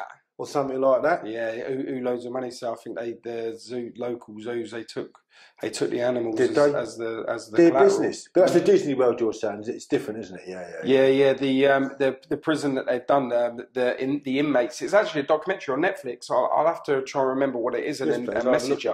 But uh, the inmates call it. They all call it Disneyland because it's like you're still in prison. Yeah, but you're free to walk around the prison, and you like they're they're doing paintings like this on the Yeah, wall, and yeah. and they're like cleaning the whole prison rather than just their cells, and they're like maintaining themselves a lot better, and they're not like they're not cursing, they're not doing anything because they know that if they mess up here, they go back to where I mean, yeah, and that's terrible where they're coming from. yeah. You will have the odd fall out, of course, that's human nature. No, but they've they've got this program. It's like an alpha program, and um, if you feel like you uh, have some unsettlement towards another prisoner, they get you together, and they make you talk about it, and it's working. Do you know what I used to say in prison? Get a boxing ring, and if I've got a beef with the man over there, big or short, you two get in the ring. Yeah, and it does settle down to the old school way. And I think you'd have less people fighting. Uh, uh, how many friends were forged for life through having a punch up and then going to the pub afterwards? Yeah, yeah. How many friendships were forged? Do you imagine that half of the criminals that become friends for life probably punched each other up once? It's, they, they talk about it's breeding violence, but I tell you what, if it come to it, if they had this, back in the old days in Borstal, I never went to Borstal, but listen, that's what they used to do, million and that. It'd sort out the men from the, the boys. But you see, we are talking about Disney World, you just said. Um, what's that? Papillon Yeah, It's a film, isn't it? Just come out, okay. So I say this. that that's actually a true story. Yeah, I know it is, yeah. Yeah, true story. Brilliant. Mm, Brilliant absolutely film. amazing. But you know what they should do with the uh, the paedophiles of the world and the rapists and that? Stick them on an island and let them live amongst themselves that they can't get off. You have to mm. police it, of course, because there'd be mm. murders on there. Yeah. and all sorts. But they're going to carry on committing their crime. Yeah, I know that psychologists like they cannot be cured. There's no cure for what they do. It's a thirst. It's like a drug. yeah, Stick them on an island. That's where you go and you live amongst yourselves. And our children and our women and our men will be safe. And that's what I think. Just chuck them over there and see you later. yeah, yeah. That's a really good film, though. Brilliant film. Oh, I like the. I preferred the Steve McQueen one. Oh right, yeah. The original one, I Yeah. really do. Dustin Hoffman in it. Mhm. I like the second one. Good film still. Uh, A little bit more inform. it- It's better. It's better in some ways, but I Yeah. prefer the old story. Yeah, yeah. I enjoyed Rooster Cogburn, the new one in the old one, but I prefer John Wayne's one best, the original. you like John Wayne, did I? I love John Wayne. I think he's a he's a man's man. So, so when, um, so when you bought the book out, Yep. what troubles did that give you? So I've had a few, obviously, people um, flying about trying to cause me problems, violence wise. Um, I had three people offered money to cut me when I was in prison. Contracts on me recently. Well, that got put to bed very quickly. Um, so stuff like that. Um, other than that, it's, it's Roger Vincent is so. I, when I I got shot years ago, and the gentleman that shot me, he handed himself into the police, and had the gun as well. I, I was told that he gave him the gun after he handed himself in because he knew the police were looking for him. So I've got to get the details a little bit more clearer on that. But he handed himself into police, and the book has brought out problems where people say that I gave evidence against him. Now, what I did do, and I'm going to give a podcast with looking to get these people on the podcast with me because one, he handed himself into the police. I got arrested myself by the police. I left the scene, went, didn't know the kid, kid did nothing wrong to me. He was just, he had already done a few things and he let the gun off and shot me. He pulled a gun out on me and I said, What are you going to do with that? He said, I'm going to kill you. I'm going then. And he shot me. I, I called his bluff, he shot me. Right? Where did he shoot you? in the head. I got uh, shotgun pellets in my head. So I went home, put cotton buds, cotton buds in my head, cut them off because big holes at the time. Then went back out looking for him. And uh, the long and short of the story is, so I got shot. Um, I was going to, and I'm going to do a podcast because he, I got reminded for a kidnapping. He started writing to me in prison on prison letters. So they're recorded in the system saying, Yeah. I didn't know it was you I shot. Can't one of- we didn't can't we sort this out? He's already threw himself in. He didn't give a monkeys. He was very very wild himself. Um, come to court. I didn't go to court. I got warrant. Uh, judge issued my arrest. Subpoenaed me. I was going to get banged up for a while. So I got to court about half eleven. Kid sitting in the dock doing this to me. I said, I'll fucking punch your head in you keep doing that to me. Knowing that he's already hung himself anyway in his letters and that, you know. So uh, I was told to get in the dock, got in the dock, I said, I can't, I don't know anything. That geezer was not there when I got shot. I can't do nothing about him. Can't help him. He fucking handed himself into the police, you know. Yeah, yeah. And he's already written letters saying it. So the book's brought out where people saying I gave evidence, but I'm going to rectify that because I know what went on. They know what went on. You know, and it's only just come out now as a result of the book. All these years later. So it's a bit of people at the mix. You with me? Yeah, yeah. So I'm going to get that rectified, and that's it really. But in anything, it's probably a positive because I will get it. Same with the paperwork. People saying I've made all the paperwork up. People got nothing back to do than lie. So you just bat them off. But even if you did say something, you got a shot in the head. Ah, I'm not, I wouldn't do that. I didn't do that. I'm not, you know, I got the other kid who, were- who was there actually when I got shot. I'm not guilty. well, I believe he was there. I want to be careful what I say now. But I did say, no, he weren't there. But I couldn't eat the other fella. Hmm. So the book's brought a bit of publicity out about that. So I'm looking to do now what's called like a table with Kevin Lane. And if anybody else now goes and does a table where what I'm looking, I'm not going to, I'm going to be in a restaurant. And we get the cameras set up, and there'll be Kenny Collins there and various other people, friends of mine, who good talkers, nice characters to be around, having having a nice meal. I think that'd be pretty epic. And uh, so you'll hear some stories that have gone on, and I'd like to get them two there about the evening. So you know, man, I fucking got shot by you, and like let's talk about the court case, and they can see it being reenacted, how it happened, their side, my side, Yeah. but in a nice manner, no aggressiveness to it. Shaking hands, have a drink and a Yeah, meal. yeah. Fucking we move on now. I've got kids. You've probably got kids. Yeah. I'm not interested in that. Mm. They may not be interested, of course, but that's what the They'll probably think they're getting fitted out, wouldn't they? uh, fit up, put in the boot. but the, the upside of the book brought a bit of trouble that way. But now the positive of that, I want to go forward and do something about it, yeah, and it puts it to bed. yeah. And it, so How long did he get? He got seven years. He was offered a, a mental institution because he was a bit scatty at the time. Not Wow. not mental, but they said, look, Yeah, you've done something. This is it. And he said, no, I'm not going to fucking mental institution. He went not guilty, and he got a guilty. They had prison officers give evidence against him for stuff that had gone on in the prison apparently, uh, and stuff like that. You know, he got seven years and he got out and got on with his life. You know, that's what he does now. I ain't seen him, but I've, it's been on my mind to go and find him, and uh, more so now. So that is really the only couple of things that have come to light. The contracts on me when I was in prison. That's all right. They got, like I say, put to bed. Um, and that. So uh, the positives are that the amount of people that are reading it and getting the information out that is in the public domain. I mean, my best mate, Marcus Lemaire, he's in the book. He's read the book. He's read the manuscript of it when I first wrote it. Oh wow. And last night, no, not last night, the weekend, I gave him a hard copy. He still hadn't had one a year later. Oh really? Right? He won't buy one, the tight kit. So I gave him a book, wrote something in it. Um, he was drinking that night. He said, Kevin, I've read 40 pages and I'll get, and I'll, I can't put it down. That's my own best mate. So the read first 40 pages that evening. So the, I'm really pleased with that. It's getting to people, touching people that I might, I might not have ordinarily have touched. yeah.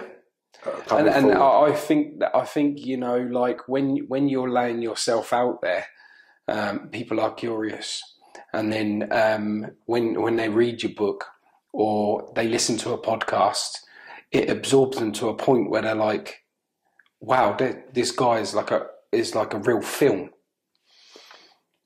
Is that film, film or film? The film is a real film. He is. in the name of the Father, Paul. Three million pound budget, I think it was, or, or something like that. Look at it, Oscar winning, and you know, true story. Yeah. made by the Irish. It's a good film. it's a good film. Good film, brilliant film. And that, it, you got Ray Burgess talking about it. I met with. Uh, uh, I'm going to be meeting with Ray in relation to setting up a production company, and Paul Ferris are talking about it with me in a minute. But uh, Leon F. Butler, he works with Idris Elba, uh, and He's a good villain. He is. Yeah, he's a good villain. It So, just, yeah, it just plays a very good villain. I think. but Leon's been following my, my story for years in relation to a film, and there's there's there's other people I'm talking to, but it may never happen. But Mm. the ingredients of that book make an excellent film, Yeah, hundred percent. excellent film. So who knows where it'll go? It may not, but the fact is the book is being well received by people. And I'm finally getting my story out there. And they can go on change.org and sign a petition to have my case referred to uh, or a parliamentary investigation. Or you can go to the Panorama programme, which is on Fitted Up and Fighting Back website, Last Chance for Justice by, by Mark Daly. That clearly shows I I've been found guilty. The jury were told I gripped a gun inside a bag, and inside that bag was live ammunition or spent gun. And that my print on that bag is consistent with gripping a Mossberg pump action shotgun. Now, the prosecution told the jury that the, the deceased was killed with a Mossberg pump action. So, as far as the jury is concerned, I've gripped a gun in that bag. Yeah. Damning evidence. Tracy Alexander for City Westminster Police conducted an ex- uh, forensic tests with uh, some other uh, forensic experts.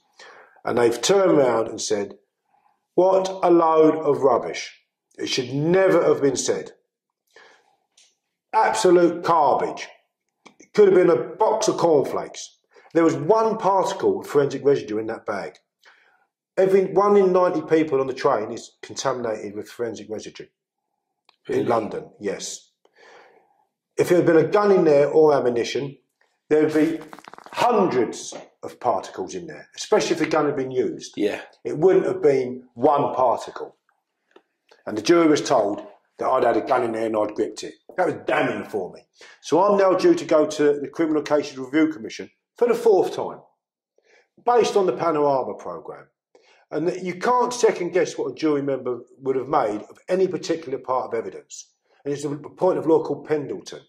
You cannot second guess what you would have thought of it, positive or negative. And on that basis alone, my conviction's unsafe. Without the police officer, visiting Vincent after the, the crime, and Vincent gets acquitted, and the copper goes round to his house twice on his own and gets invited in. Stuff like that.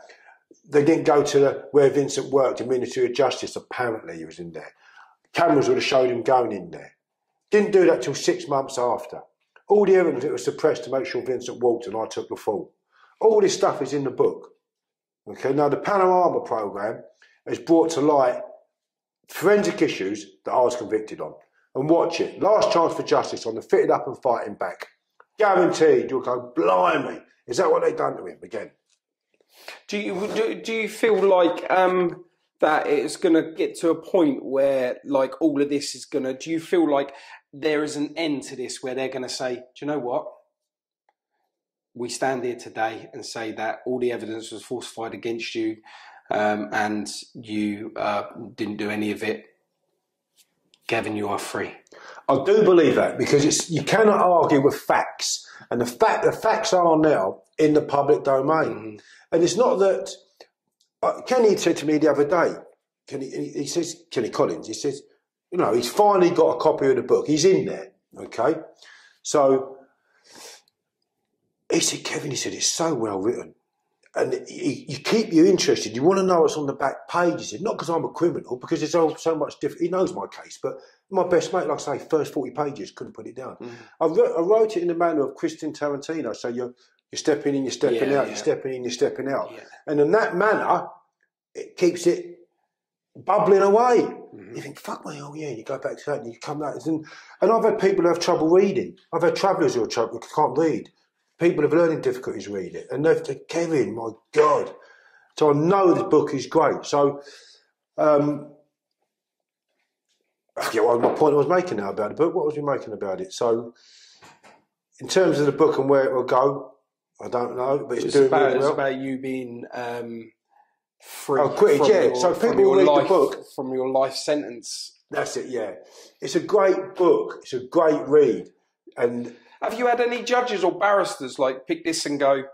Yes, I had a I'm judge. Gonna, I'm going to fight your corner here. I had a judge read it. Yeah. Okay. I can't mention his name either, and he was a physiotherapist for the Wales squad. Give it to him, and he said it was excellent. Uh, I, did, I did a speech at uh, Cambridge University, and I did the prestigious Law Society in Marylebone, and I've done other speeches as well, guest appearances and that. Uh, and I had a law lord come up to me, shake my hand, Tom Conte, the uh, actor. Yeah. Uh, must shake this young man's hand, he said. And you know, the other one, not Catch Me If You Can. He was a copper, but he ran a series where he got evaded being caught for a number of days.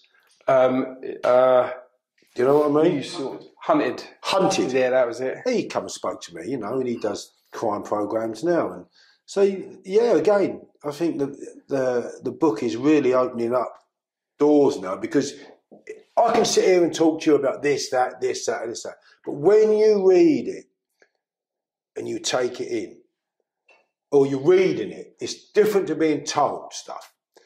And I find that once people have read the book, they go, what an absolute fucking liberty has been taken with you. And you've been fitted up right away from the start, fitted up not just by me whinging or crying about this or crying about that, saying fact, fact, fact, fact.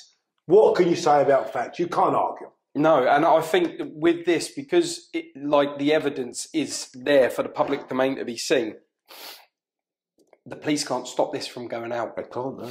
They can't stop it from going out, and I think I think you knew that you had to be that way when you writ the book because you.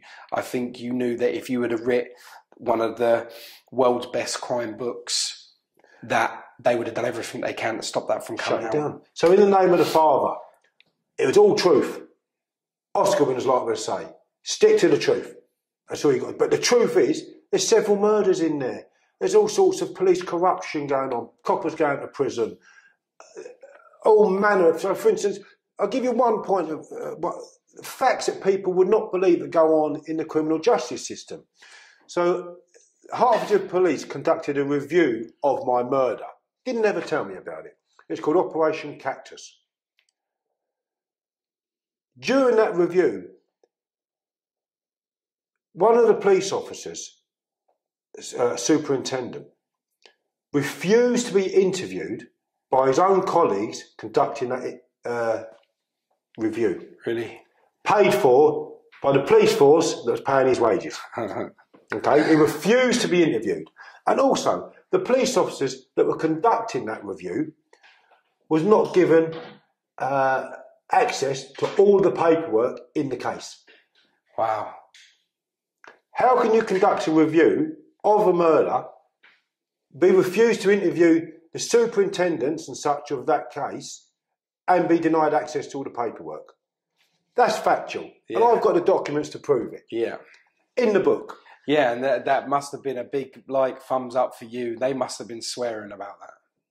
Going nuts. Mm. I wrote to the Taxpayers Alliance. I said, "You pay your tax, don't you?" I said, "Well, you've wasted your money on that operation, that review, because such and such refused to be interviewed, and the police force refused to give the review team the paperwork on that case. That's a waste of taxpayers' money. I got given the Spanish Archer, the elbow, to give me nothing. Clear off, they said. Really? Didn't want to know, and that's what I used to get all the time. But it's all in the book." And it's things like that that people will read and go, "Is that really? Yeah, it did take place." So when it come to the the three murders that you was um, thing for, were they were they all like executed in the same way, or was it all s- like different different things, or was it that like they managed to get enough evidence on one, and because the other two were very similar, they just thought, "Fuck it, I'm just going to throw you in with them as well." Uh, no, I- don't think they were. Um, no, they weren't. It's just the fact that Vincent told them that I committed those murders. Well, it all comes back to him, doesn't it? Yeah, he told them. Up until that point, I was fine. Then he's come along, told the police about these murders, and the, in the book, this is I've got to get back to the book. But a gentleman came forward. He said, "I've been told to read your website. I've been up all night reading it. I've come home from work. I've read it all night." He's contacted my solicitor on the website. He said, "I've got information about this case." He said, "I bought the gun used in the murder." Yeah, Did he say who he bought it from? yes, he did. Right. Wow. And, and he said, I will take a lie detector test. I will face the wrath of the criminal fraternity. He said, for getting in the dock and giving evidence about what I know about this case, because an innocent man is in prison. Who do you think got, well, you're going to guess, aren't you, was given the job of interviewing this man? He lives a bloody long way away. Yeah. Hertfordshire Police. Hertfordshire Police travelled a very long way away to visit this man, interviewed him, and then threatened him with prosecution. Really. What was um? What they threatened him with? Averting the terms? course of justice. Yeah.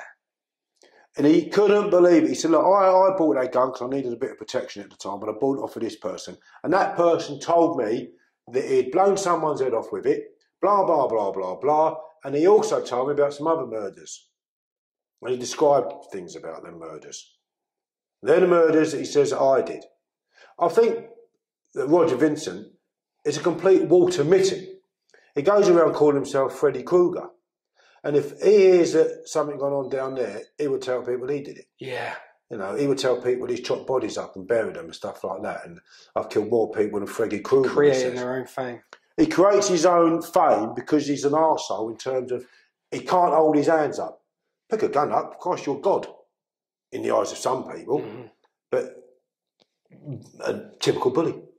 Typical bully, you know, and so he's got to portray himself in a manner where people are frightened of him or think he's this or he's that. And he has built himself up a bit of a name amongst those people who want to be fooled by him. But let me tell you, when he was in Belmarsh Unit, he went up to the governor and in front of other inmates and said, You can't send me to Whitemoor, Kevin Lane's there. You've got to keep us apart. Panic mode. Mm. Got his solicitor to write to the Home Office and said, "You've got to keep them apart. Because if he'd have come into the system with me, I'd have smashed the life out of him. Yeah. And Smith, the pair of them. I've done them both together. No problem. Weighed them both in. But they kept it apart. And then since then, they've always tried to have me weighed in, cut, slab, stash. I've had three contracts on my life, regardless of the other three, by some people that you would not want paid to come and get you. Really. I am telling you now, you would not want them. Both of them natural lifers. One of them, David Bieber, he tried. He's just been found guilty, I think, for trying to cut a screw's head off. He shot the two police officers in Leeds. Oh, He's yeah, an yeah. American, ironed him out. Dave's bleeding dangerous. And he, and he came to the Kevin, I'm going to tell you, so I've been asked to, you know, kill you. Right? And I've been offered a lot of money for it. I'm telling you in case you find out, because I don't want any trouble. I like you, Kevin. I thought, oh, fucking hell, that's a touch. Yeah, yeah, yeah, yeah. I do not want you on my case, David, I can assure you. Right? You know, I fucking, listen, it's, it's, it's just facts of life, isn't it? You know, people are extremely dangerous. Think, cool, I'd rather he weren't on my case. Yeah, yeah. I'd deal with it if I got to. Yeah, You know, but you can't see a knife coming in the neck or the eye, can you? nah. So he was one. Another geezer, he's dead now, Victor, Philippine, always stabbing people through the system. Mental stabbing. He come up to me. Got on really well, Victor and all. He said, he come and told me. And then another geezer I can't mention, but uh, three of them offered 100 grand to uh, top me. Because Vincent didn't want all this coming out. Wow. Hmm. But it just goes to show what kind of man that you are. The fact that these people are very, very dangerous, and they come to tell you, um, I, "I like you," and you, I've been offered this to to offer you. You know that just goes to show what kind of guy you you you are. Um, I, do you know, Paul, I get a bit embarrassed about it, but I'm humbled in the manner that, one, they like me, a decent fella. I think I'm a decent fella. You know, oh, oh, yeah, I believe that too. I've made mistakes in my life. I've Who learned hasn't, from man? them. You Who know, hasn't? and I, you know, I just, uh, and I'm kind and I'm caring. I'm a stubborn bastard, but I know I'm kind and caring, and I think the better of people rather than the worst. But yeah, I was well liked in prison. You always can't. You, some people just won't like because you can't get on. That's just human nature. But I know I was well liked in prison. I was get 250 to 300 Christmas cards a year. Scrooge come up to me and said, Kevin, you get more cars than Charlie Bronson. I thought I'd send them all myself. That's why I got them sent Yeah, that's all them stamps. Oh, I've- I've Return the sender. Elvis. yeah, yeah, I'm I'm humbled by that. But I walked them bloody landings, okay? I went into any prison on my own. I walked onto them landings on my own. And I went in there on my own and I came out on my own. I come into this world on my own, I'll be going out of it on my own. Mhm. All right? And I say to people, we all bleed. Mhm. All right? Simple as that. The reputation is put around you. Forget that. We're human beings. Yeah. Why does it have to come to that? Mm. Why can't it come to, you know, hold on. No, I agree with You you. know, fucking, why does violence have to be the be all and end all? And I, look, I started working the doors when I was 18. Because I didn't want to go to places where my mates are going to get drunk, like young kids do. Not all young kids, but there's fighting. Yeah, I thought that don't entertain me. I'll go and get paid to fight on the door. yeah, But we're here to restrain people, yeah, to look after our customers, not beat them up. Mhm. So it's a different mindset again. yeah, yeah. And I did very well in the security g- bit- is- industry. When I was asked to go and work places I weren't old enough to be in. People thought I was a manager. oh, really? So I could come up and say, hello, what's the problem? yeah, And they go, you're fucking doorman. they want me to leave because they said I'm pissed. Just go and talk by the door, I can hear you. Door's open, now you've got to go home. yeah, yeah, you gotta go. Time for you to go. But finish your beer before you do. Yeah, You know, not pull it out of their hand and all Yeah. that. You know, so yeah, so I would work and I had less problems on the door for however long it was. And I know that my pals were going out and they they they'd someone would pinch their bird's ass or you know what I mean, getting Yeah. drunk as they are at eighteen. I didn't do none of that. I don't agree with violence. I might be I was all right at it. I could hold my hands up as a young kid. But uh, last resort for me. And uh, I'm proud of the man I am today. Mhm. Uh, and I sleep well at night. Sometimes I feel like I'm being interfered with. I thought, oh, who's in bed with me? 'Cause I'm used to being in bed on my own for 20 years, isn't I? oh, oh, who's that? Oh, fuck me, I'm not on my own. How do you manage a relationship um, with being alone for 20 years and then coming out and having to share a bed? Like, how, how did that work out for you? Well, you need a big bed. Yeah. You're used to sleeping on a bed where you turn on the spot. Yeah. You don't roll over. Mm-hmm. So, no, it's bloody. Depends how much they fart or snore, doesn't it, really? Eh? or how they move their legs or their elbows and that. yeah. But I had pretty good sleep in me. I wake up when anything goes on, but I sleep well. I Yeah. don't know. I came home from prison and got straight back on with my life. Bang. I had a problem with Bluetooth, all them banking, difficulty. I wasn't so good with that. I think that's because you kept your mind active in in your case. I think that's why you you've managed to be able to come out and and progress the two businesses that you did. Um, you know, damn COVID, but like you know, you you managed to be able to come out and and and be a success rather than struggle to be living normality. You know, um, because it is very different outside to inside.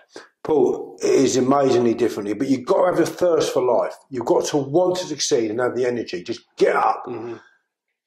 And go to work and have that drive to make something succeed. So I've been home now two months from this bloody recall I should have done. So in the two months I've been home,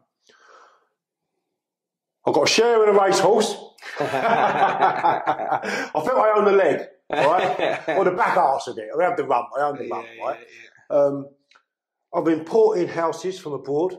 That you, th- th- this country, I've been showing people their beautiful homes, The German ones and that lot. German, but Yeah. I, I, they're shut down a minute. So I'm bringing houses in from Turkey, Yeah, and I'm, I'm contracted to these houses, and you can raise money for self builds. But They're still frame, yeah, solid walls, not stud walls, solid Yeah. wall homes, underfloor heating, marble kitchens, marble. oh, It's excellent homes, okay, for money you could not believe.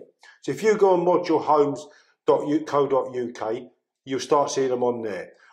Garden log sheds and stuff like that. So in the two months I've been home, I'm going to be importing some homes, and I'll be getting them homes sold on Module Homes UK. Okay, I've got some shares in some lorries, two lorries that are out Grafton at the minute, uh, an interest in them. A couple of little vans are out working at the moment, and I'm out there business development, bringing in work or finding contracts for these these lorries and these vans in two months, and I'm getting a, a wage. Okay, I'll bring home about two grand a week, and I don't mind. I don't. It's not the best of money. it's Okay? good.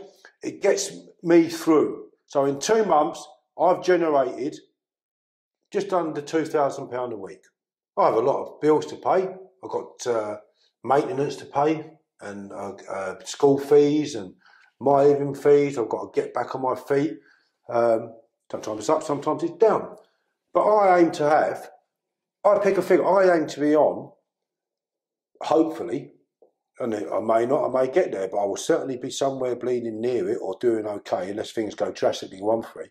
I need to be on about hundred thousand pound a month, twenty five grand a week, and I'll tell you why I need to be on that because I've got lots of people I need to take care of Mm. who aren't in such a fortunate position as me, and I've got lots of things I want to do with my money when I get it, and I spend it willy nilly now for whatever reasons, Yeah, and it ain't all on me, I can assure you. Mhm. So I do. I work with Nishkam SWAT, dealing dishing out food to the homeless. Okay, I've got my own hub. I like and I like those sort of things. yeah, I, and I get. I see a kid yesterday. I give him forty five quid. Eighteen year old boy, chatting away to him. I said, "You all right?" And he- he's watched my podcast. He said, oh, honestly, he said, all your reviews, he said, what people are saying, he said, about you, Kevin. And I said, look, I said, that's nice. And I said, look, how you doing for money anyway? I said, he's already said his nice things, so I weren't buying him, was I? I said, you always need money as a young kid. didn't you?" I said, just take. I, well, I had, I had uh, 45 quid in there and I had some 50s. I'm not going to give him a 50. Yeah. I should have done really, but I like keeping the 50s. So I gave him the 45 quid. I said, go on, you and your girlfriend, you need to. I didn't know if he had a girlfriend. I said, but you always need money in your pocket. And I went off. And today I will send some money into prison to someone and I would do it to someone else and someone else. So you may sound like a lot of money, £2,000 a week. But if you do £200 a week on fuel, maybe £300, you do X amount of maintenance a month and rent and food and, you know, soon goes. Soon we live in an expensive world. expensive well, bleeding. I might have a bit of Botox. really good for migraines. What Botox? hmm Is it? Yeah, really good. I have, I have it for migraines. I don't get it. Yeah. No, I've, I've, I've suffered migraines since I was very, very young, and I have to. I, I have it done for for migraines. What- Now, tell me this, right? You're getting your hair cut in a barber's. they take the piss. No! but you get the scenario was when you did. You only put the shears on your back of your neck. yeah. It makes you go to sleep, doesn't it? Yeah. Yeah. Hundred percent. I've always thought for people with migraines, if they could have a machine that could do that to them. Yeah. Never thought about that. Next time you get a migraine, try it. I think. So honestly, since I've had uh, since I've, I've had the Botox, I don't get headaches. Oh, that's brilliant. Yeah, it's absolutely absolutely amazing. Uh, it really really does work. I've I you know I've, I've tried many many things. I've had uh, I have to have injections and stuff from doctors and stuff to um, uh, help with my migraines. And uh, when I get it, I go photophobic, so I go completely blind. And uh, yeah, and it's fast as well. Like I'm talking from first symptom to to being teetotal, laid out in bed, covers over. Since I since I have the Botox, I have it every sort of uh, 10, 10 weeks. I think it is ten You weeks. so much younger. Well, you know. but yeah, it's, it completely stops it. Completely stops it. Don't have migraines. I've got my left buttock is larger than my right buttock. Yeah. they put too much Botox in. it's probably why I got a massive forehead. They're doing buttocks Botox, aren't they? And all that. Yeah, they Oh, do. They, but you can God. put it in. If you if you sweat too much as well, you can have it done. I've got that done because you know some place you do sweat when you got a shirt on or something. You know, Just just in just in general, I think nowadays the pressures of the world it creates um, exposure, anyways. You know, so but yeah, you can have it. But the problem is if you if you sweat, say like if you've got like a sweaty lip or a sweaty face, girls get it a lot. You know, sweaty lip. Um, you can you can put Botox in there, stop you from sweating. The problem is it's got to come out somewhere else, isn't it? yeah, normally out their arse. no offence, young ladies. She's got a Botox clinic. So, to be Yeah. able to have a bit of Botox. Yeah. Yeah, no problem. All right, and it's all real gear. It ain't snide either from China. Injecting that concrete. Look at them bloody eggs they do. yeah. Hey, gold. You'd eat it, no, no different, would you? Mm. But anyway, we digress there about it. So, any other questions? You think we? No, I think, bit? I don't want um, to bore your viewers. No, no, no, no. My viewers are good, man. Really? They, yeah, they're good. They're really good. I, I really appreciate everything that you've done for me today. Like you, Well, I've about Uh, done is to enjoyed the conversation. It's been a mutual experience, and I've thoroughly enjoyed having a chat with you. It's not what I've done for you. It's just nice having a chat and meeting you. I really appreciate it, man. Uh, and my viewers will really appreciate. It. If I could ever do anything for any of your viewers, you know, contact you through there. Don't be frightened to mention me. I'll do speeches. I'll come to schools. I've got to go to a university. I've got to go to Derby University. They're using my book as a case study for law students. Oh, really? How about that? That's that's absolutely amazing. Isn't Absolutely amazing? amazing? When I when I first started doing the podcast and stuff, I was doing it um, with victims and stuff, and um, they're actually using my um, some of my podcasts that I've I've done to help raise awareness within uh, college in um, education. So um, this is something that That's we've only recently learned over the last sort of month and a half that they've been using. I thought my views were going up. so proud, Do, do you know what it is? Uh, I, I don't understand why they never contacted me and just say like, you know, this is what we're doing. Um, I found out because after I just started getting messages saying, "Oh my god, we've seen your podcast. Um, you know, it's really has changed the way that I think about how I act and things like that." And I was like, "What? What? Why? Why's That's all these people?" So I contacted them back and I was like, "I'm sorry, I, I don't know what you're talking about." And then they'd say, "Oh, at, at our college." They're playing your videos in, in, in college to help raise awareness, and it blew my mind. I actually was like, "Wow!" and it just it all adds to the reason why I do the podcast. You know, it's just raising that awareness, and Mm. uh, you know, crime crime really doesn't pay. Um, and as much as you want to be the biggest and the baddest out there, when you become of age, where you're a lot wiser and you're a lot knowledgeable, you you do regret the things that you have done in the past, and you do apolo- you do make apologies to do these certain things, and the change is great because, like for you, you were fitted up. So the change that you're doing, the awareness that you're creating, is great for for people because you don't have to have done the crime to have been fitted up like Yeah. a criminal. And lives are being turned over in, in this in this fraternity of like Mm. I need to be the biggest and the baddest. Ain't no one gonna be like how it used to be. You know, like you say, crime has changed. Oh, it's changed And if you if you was to relive it all again and be a criminal of today, you wouldn't do it. Oh, bleeding hell. Do you know what? Throw stones at low flying aeroplanes or punch waves in the sea. It's a lot better crime to do. All right, you Yeah. won't get nicked doing it. Yeah. Kids, you know, kids should be taught to do mischievous things like that. We've all thrown stones at low flying airplanes. Mhm. You're never going to hit them, are you? I don't know. You never know. I've got a good arm on me. You big arm. You like a big arm. Yeah. But you know, kids should be taught to, you know, just not not the thing. It's the, the knives and the. Can I, tell me why do we sell the knives that we sell for kids to get their hands on? The Bowie knives, the fucking Rambo knives, Zombie ones. the zombie ones, the flick knives. All the, why are they made and why are they sold? For what use are any of those weapons used for outside of killing or hurting someone? And the thing is, these knives are turning up pre-sharp. They're sharp.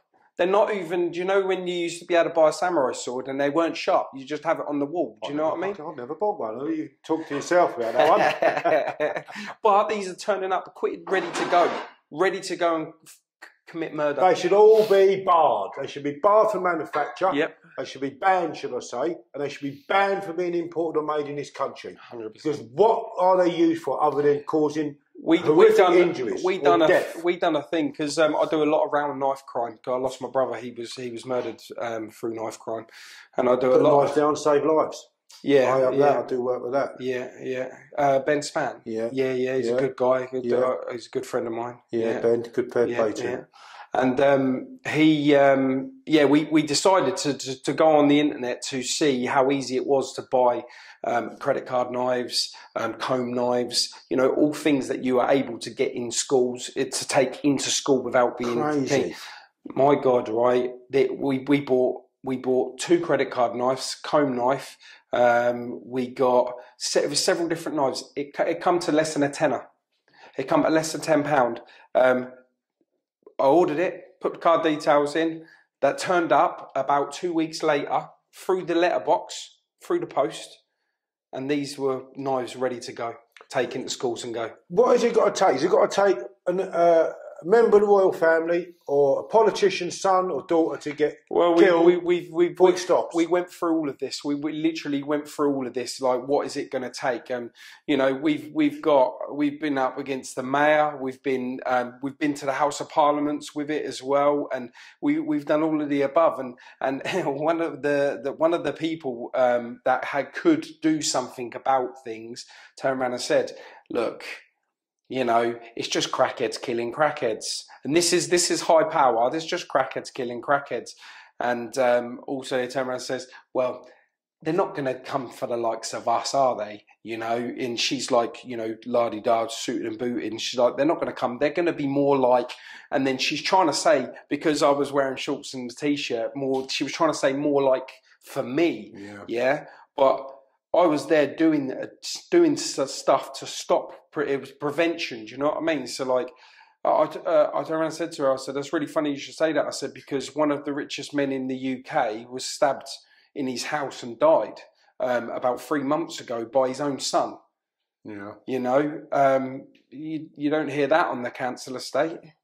You know, and she was like, "Oh, really? Like, oh, uh, Yeah, yeah. It's, it's it's hard work. It's hard work, but we ain't we ain't stopping. We're still we're still progressing. We're still pushing forward for that. Yeah, I'm, I'm always going to uh, promote the abolishment of them. hmm That's what I'm going to promote. And it really does need that. And I'm hoping one day to get my charity up and running where I, I want to do something for, uh, in to do with sport, but I will go in and uh, take women and men to do some training or go to wherever they are, in whatever hostels they're in or any refuge they're at, to give them a way out. And I think sport is a way forward. It's a different, the happy hormone. Yeah. If you can just pump something back into them instead of drugs, hmm uh, that's what I'm aiming for. And again, whilst you're doing your own little bits and pieces, you always think of other areas where you say, "Well, I don't agree with gun crime. I don't, I don't agree with fucking knife crime and Mhm. that's you know, and, nunchuckers unless it's a sport, okay." But Star of David being flung around the bleed and given to kids. There's, there's always going to be an, a, a revenue for you to go down to help make a change. The problem is you can't spread yourself out. You you spread yourself so thin that your attention's not focused on on one of the areas. Do you, do you know what I mean? So, yeah, yeah. um, for me, yeah, I'd always done charity work. I've always done stuff for the community. I've always, I've always been. I took so much away when I was younger that um, you know it was my time to give back, and for that I started doing a lot. And it wasn't until um, that my brother was murdered. He was one of the most powerful guys that I've ever known, and he was murdered. Just one, he just got stabbed once, wrong place, wrong time, um, mistaken identity as such, terrible, isn't and um, I'd, I'd lost him, and that completely changed everything with the way that I hear think. Cool. Yeah, It's yeah, sad. yeah. It's, it's, it is sad. It's sad, but I've put I've put his legacy to use. I've not let him die for no reason. You know, with the change that we're making within the community is so massive that it got recognised by um, Martin Murray, the pro boxer.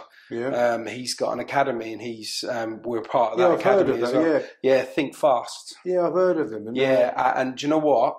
He's got a hell of a story. His podcast is coming out soon, and uh, his his story is from the dire streets I to know it is. yeah, yeah. Uh, in, in, and in Manchester, where's? Uh, Warrington, Warrington. yeah, out that way. I've Yeah, had some boxing gloves off from when I was away before. Uh, I think they're signed and that yeah, and stuff. But yeah, I've heard a bit about his story. yeah. It's, it's a it's a hell of a. He's um he gave us the exclusive. Um, never been told. And Good. um, What yeah, a story. Oh, do you know what it is? Uh, we bumped into him at a charity event in Wales um, for another charity event. We was up there doing our thing, and um, he was there, and we just gelled straight Yeah, away. And uh, yeah, what a guy! I'm hoping that Tony Bellew's going to do a bit. I've just given him of of his, my book to his best mate to have a read off. But the boxers can bring a lot of recognition Mm-hmm. to fitting up and fighting back, knife crime and such, because they've got a large following. Yeah, definitely. You know, so you've got to use your avenues. They say through sport, don't they? Yeah, To try and bring. I think it can. Put, I think it can pull people together, and and you know, you need help at all in any any way whatsoever when it comes to you setting this up. I'm happy to jump on board Yeah, with you. Paul. I want about doing uh, naked chef. Is it going to be cold? And you're my you're going to be one of the chefs in a warm environment. oh, good. Warm environment, we'll be all right. Good, yeah, good, yeah. We've got the chopper. right, anyway, listen, Paul, it's an No, thank you very much. Thank I really you appreciate it. You're an absolute.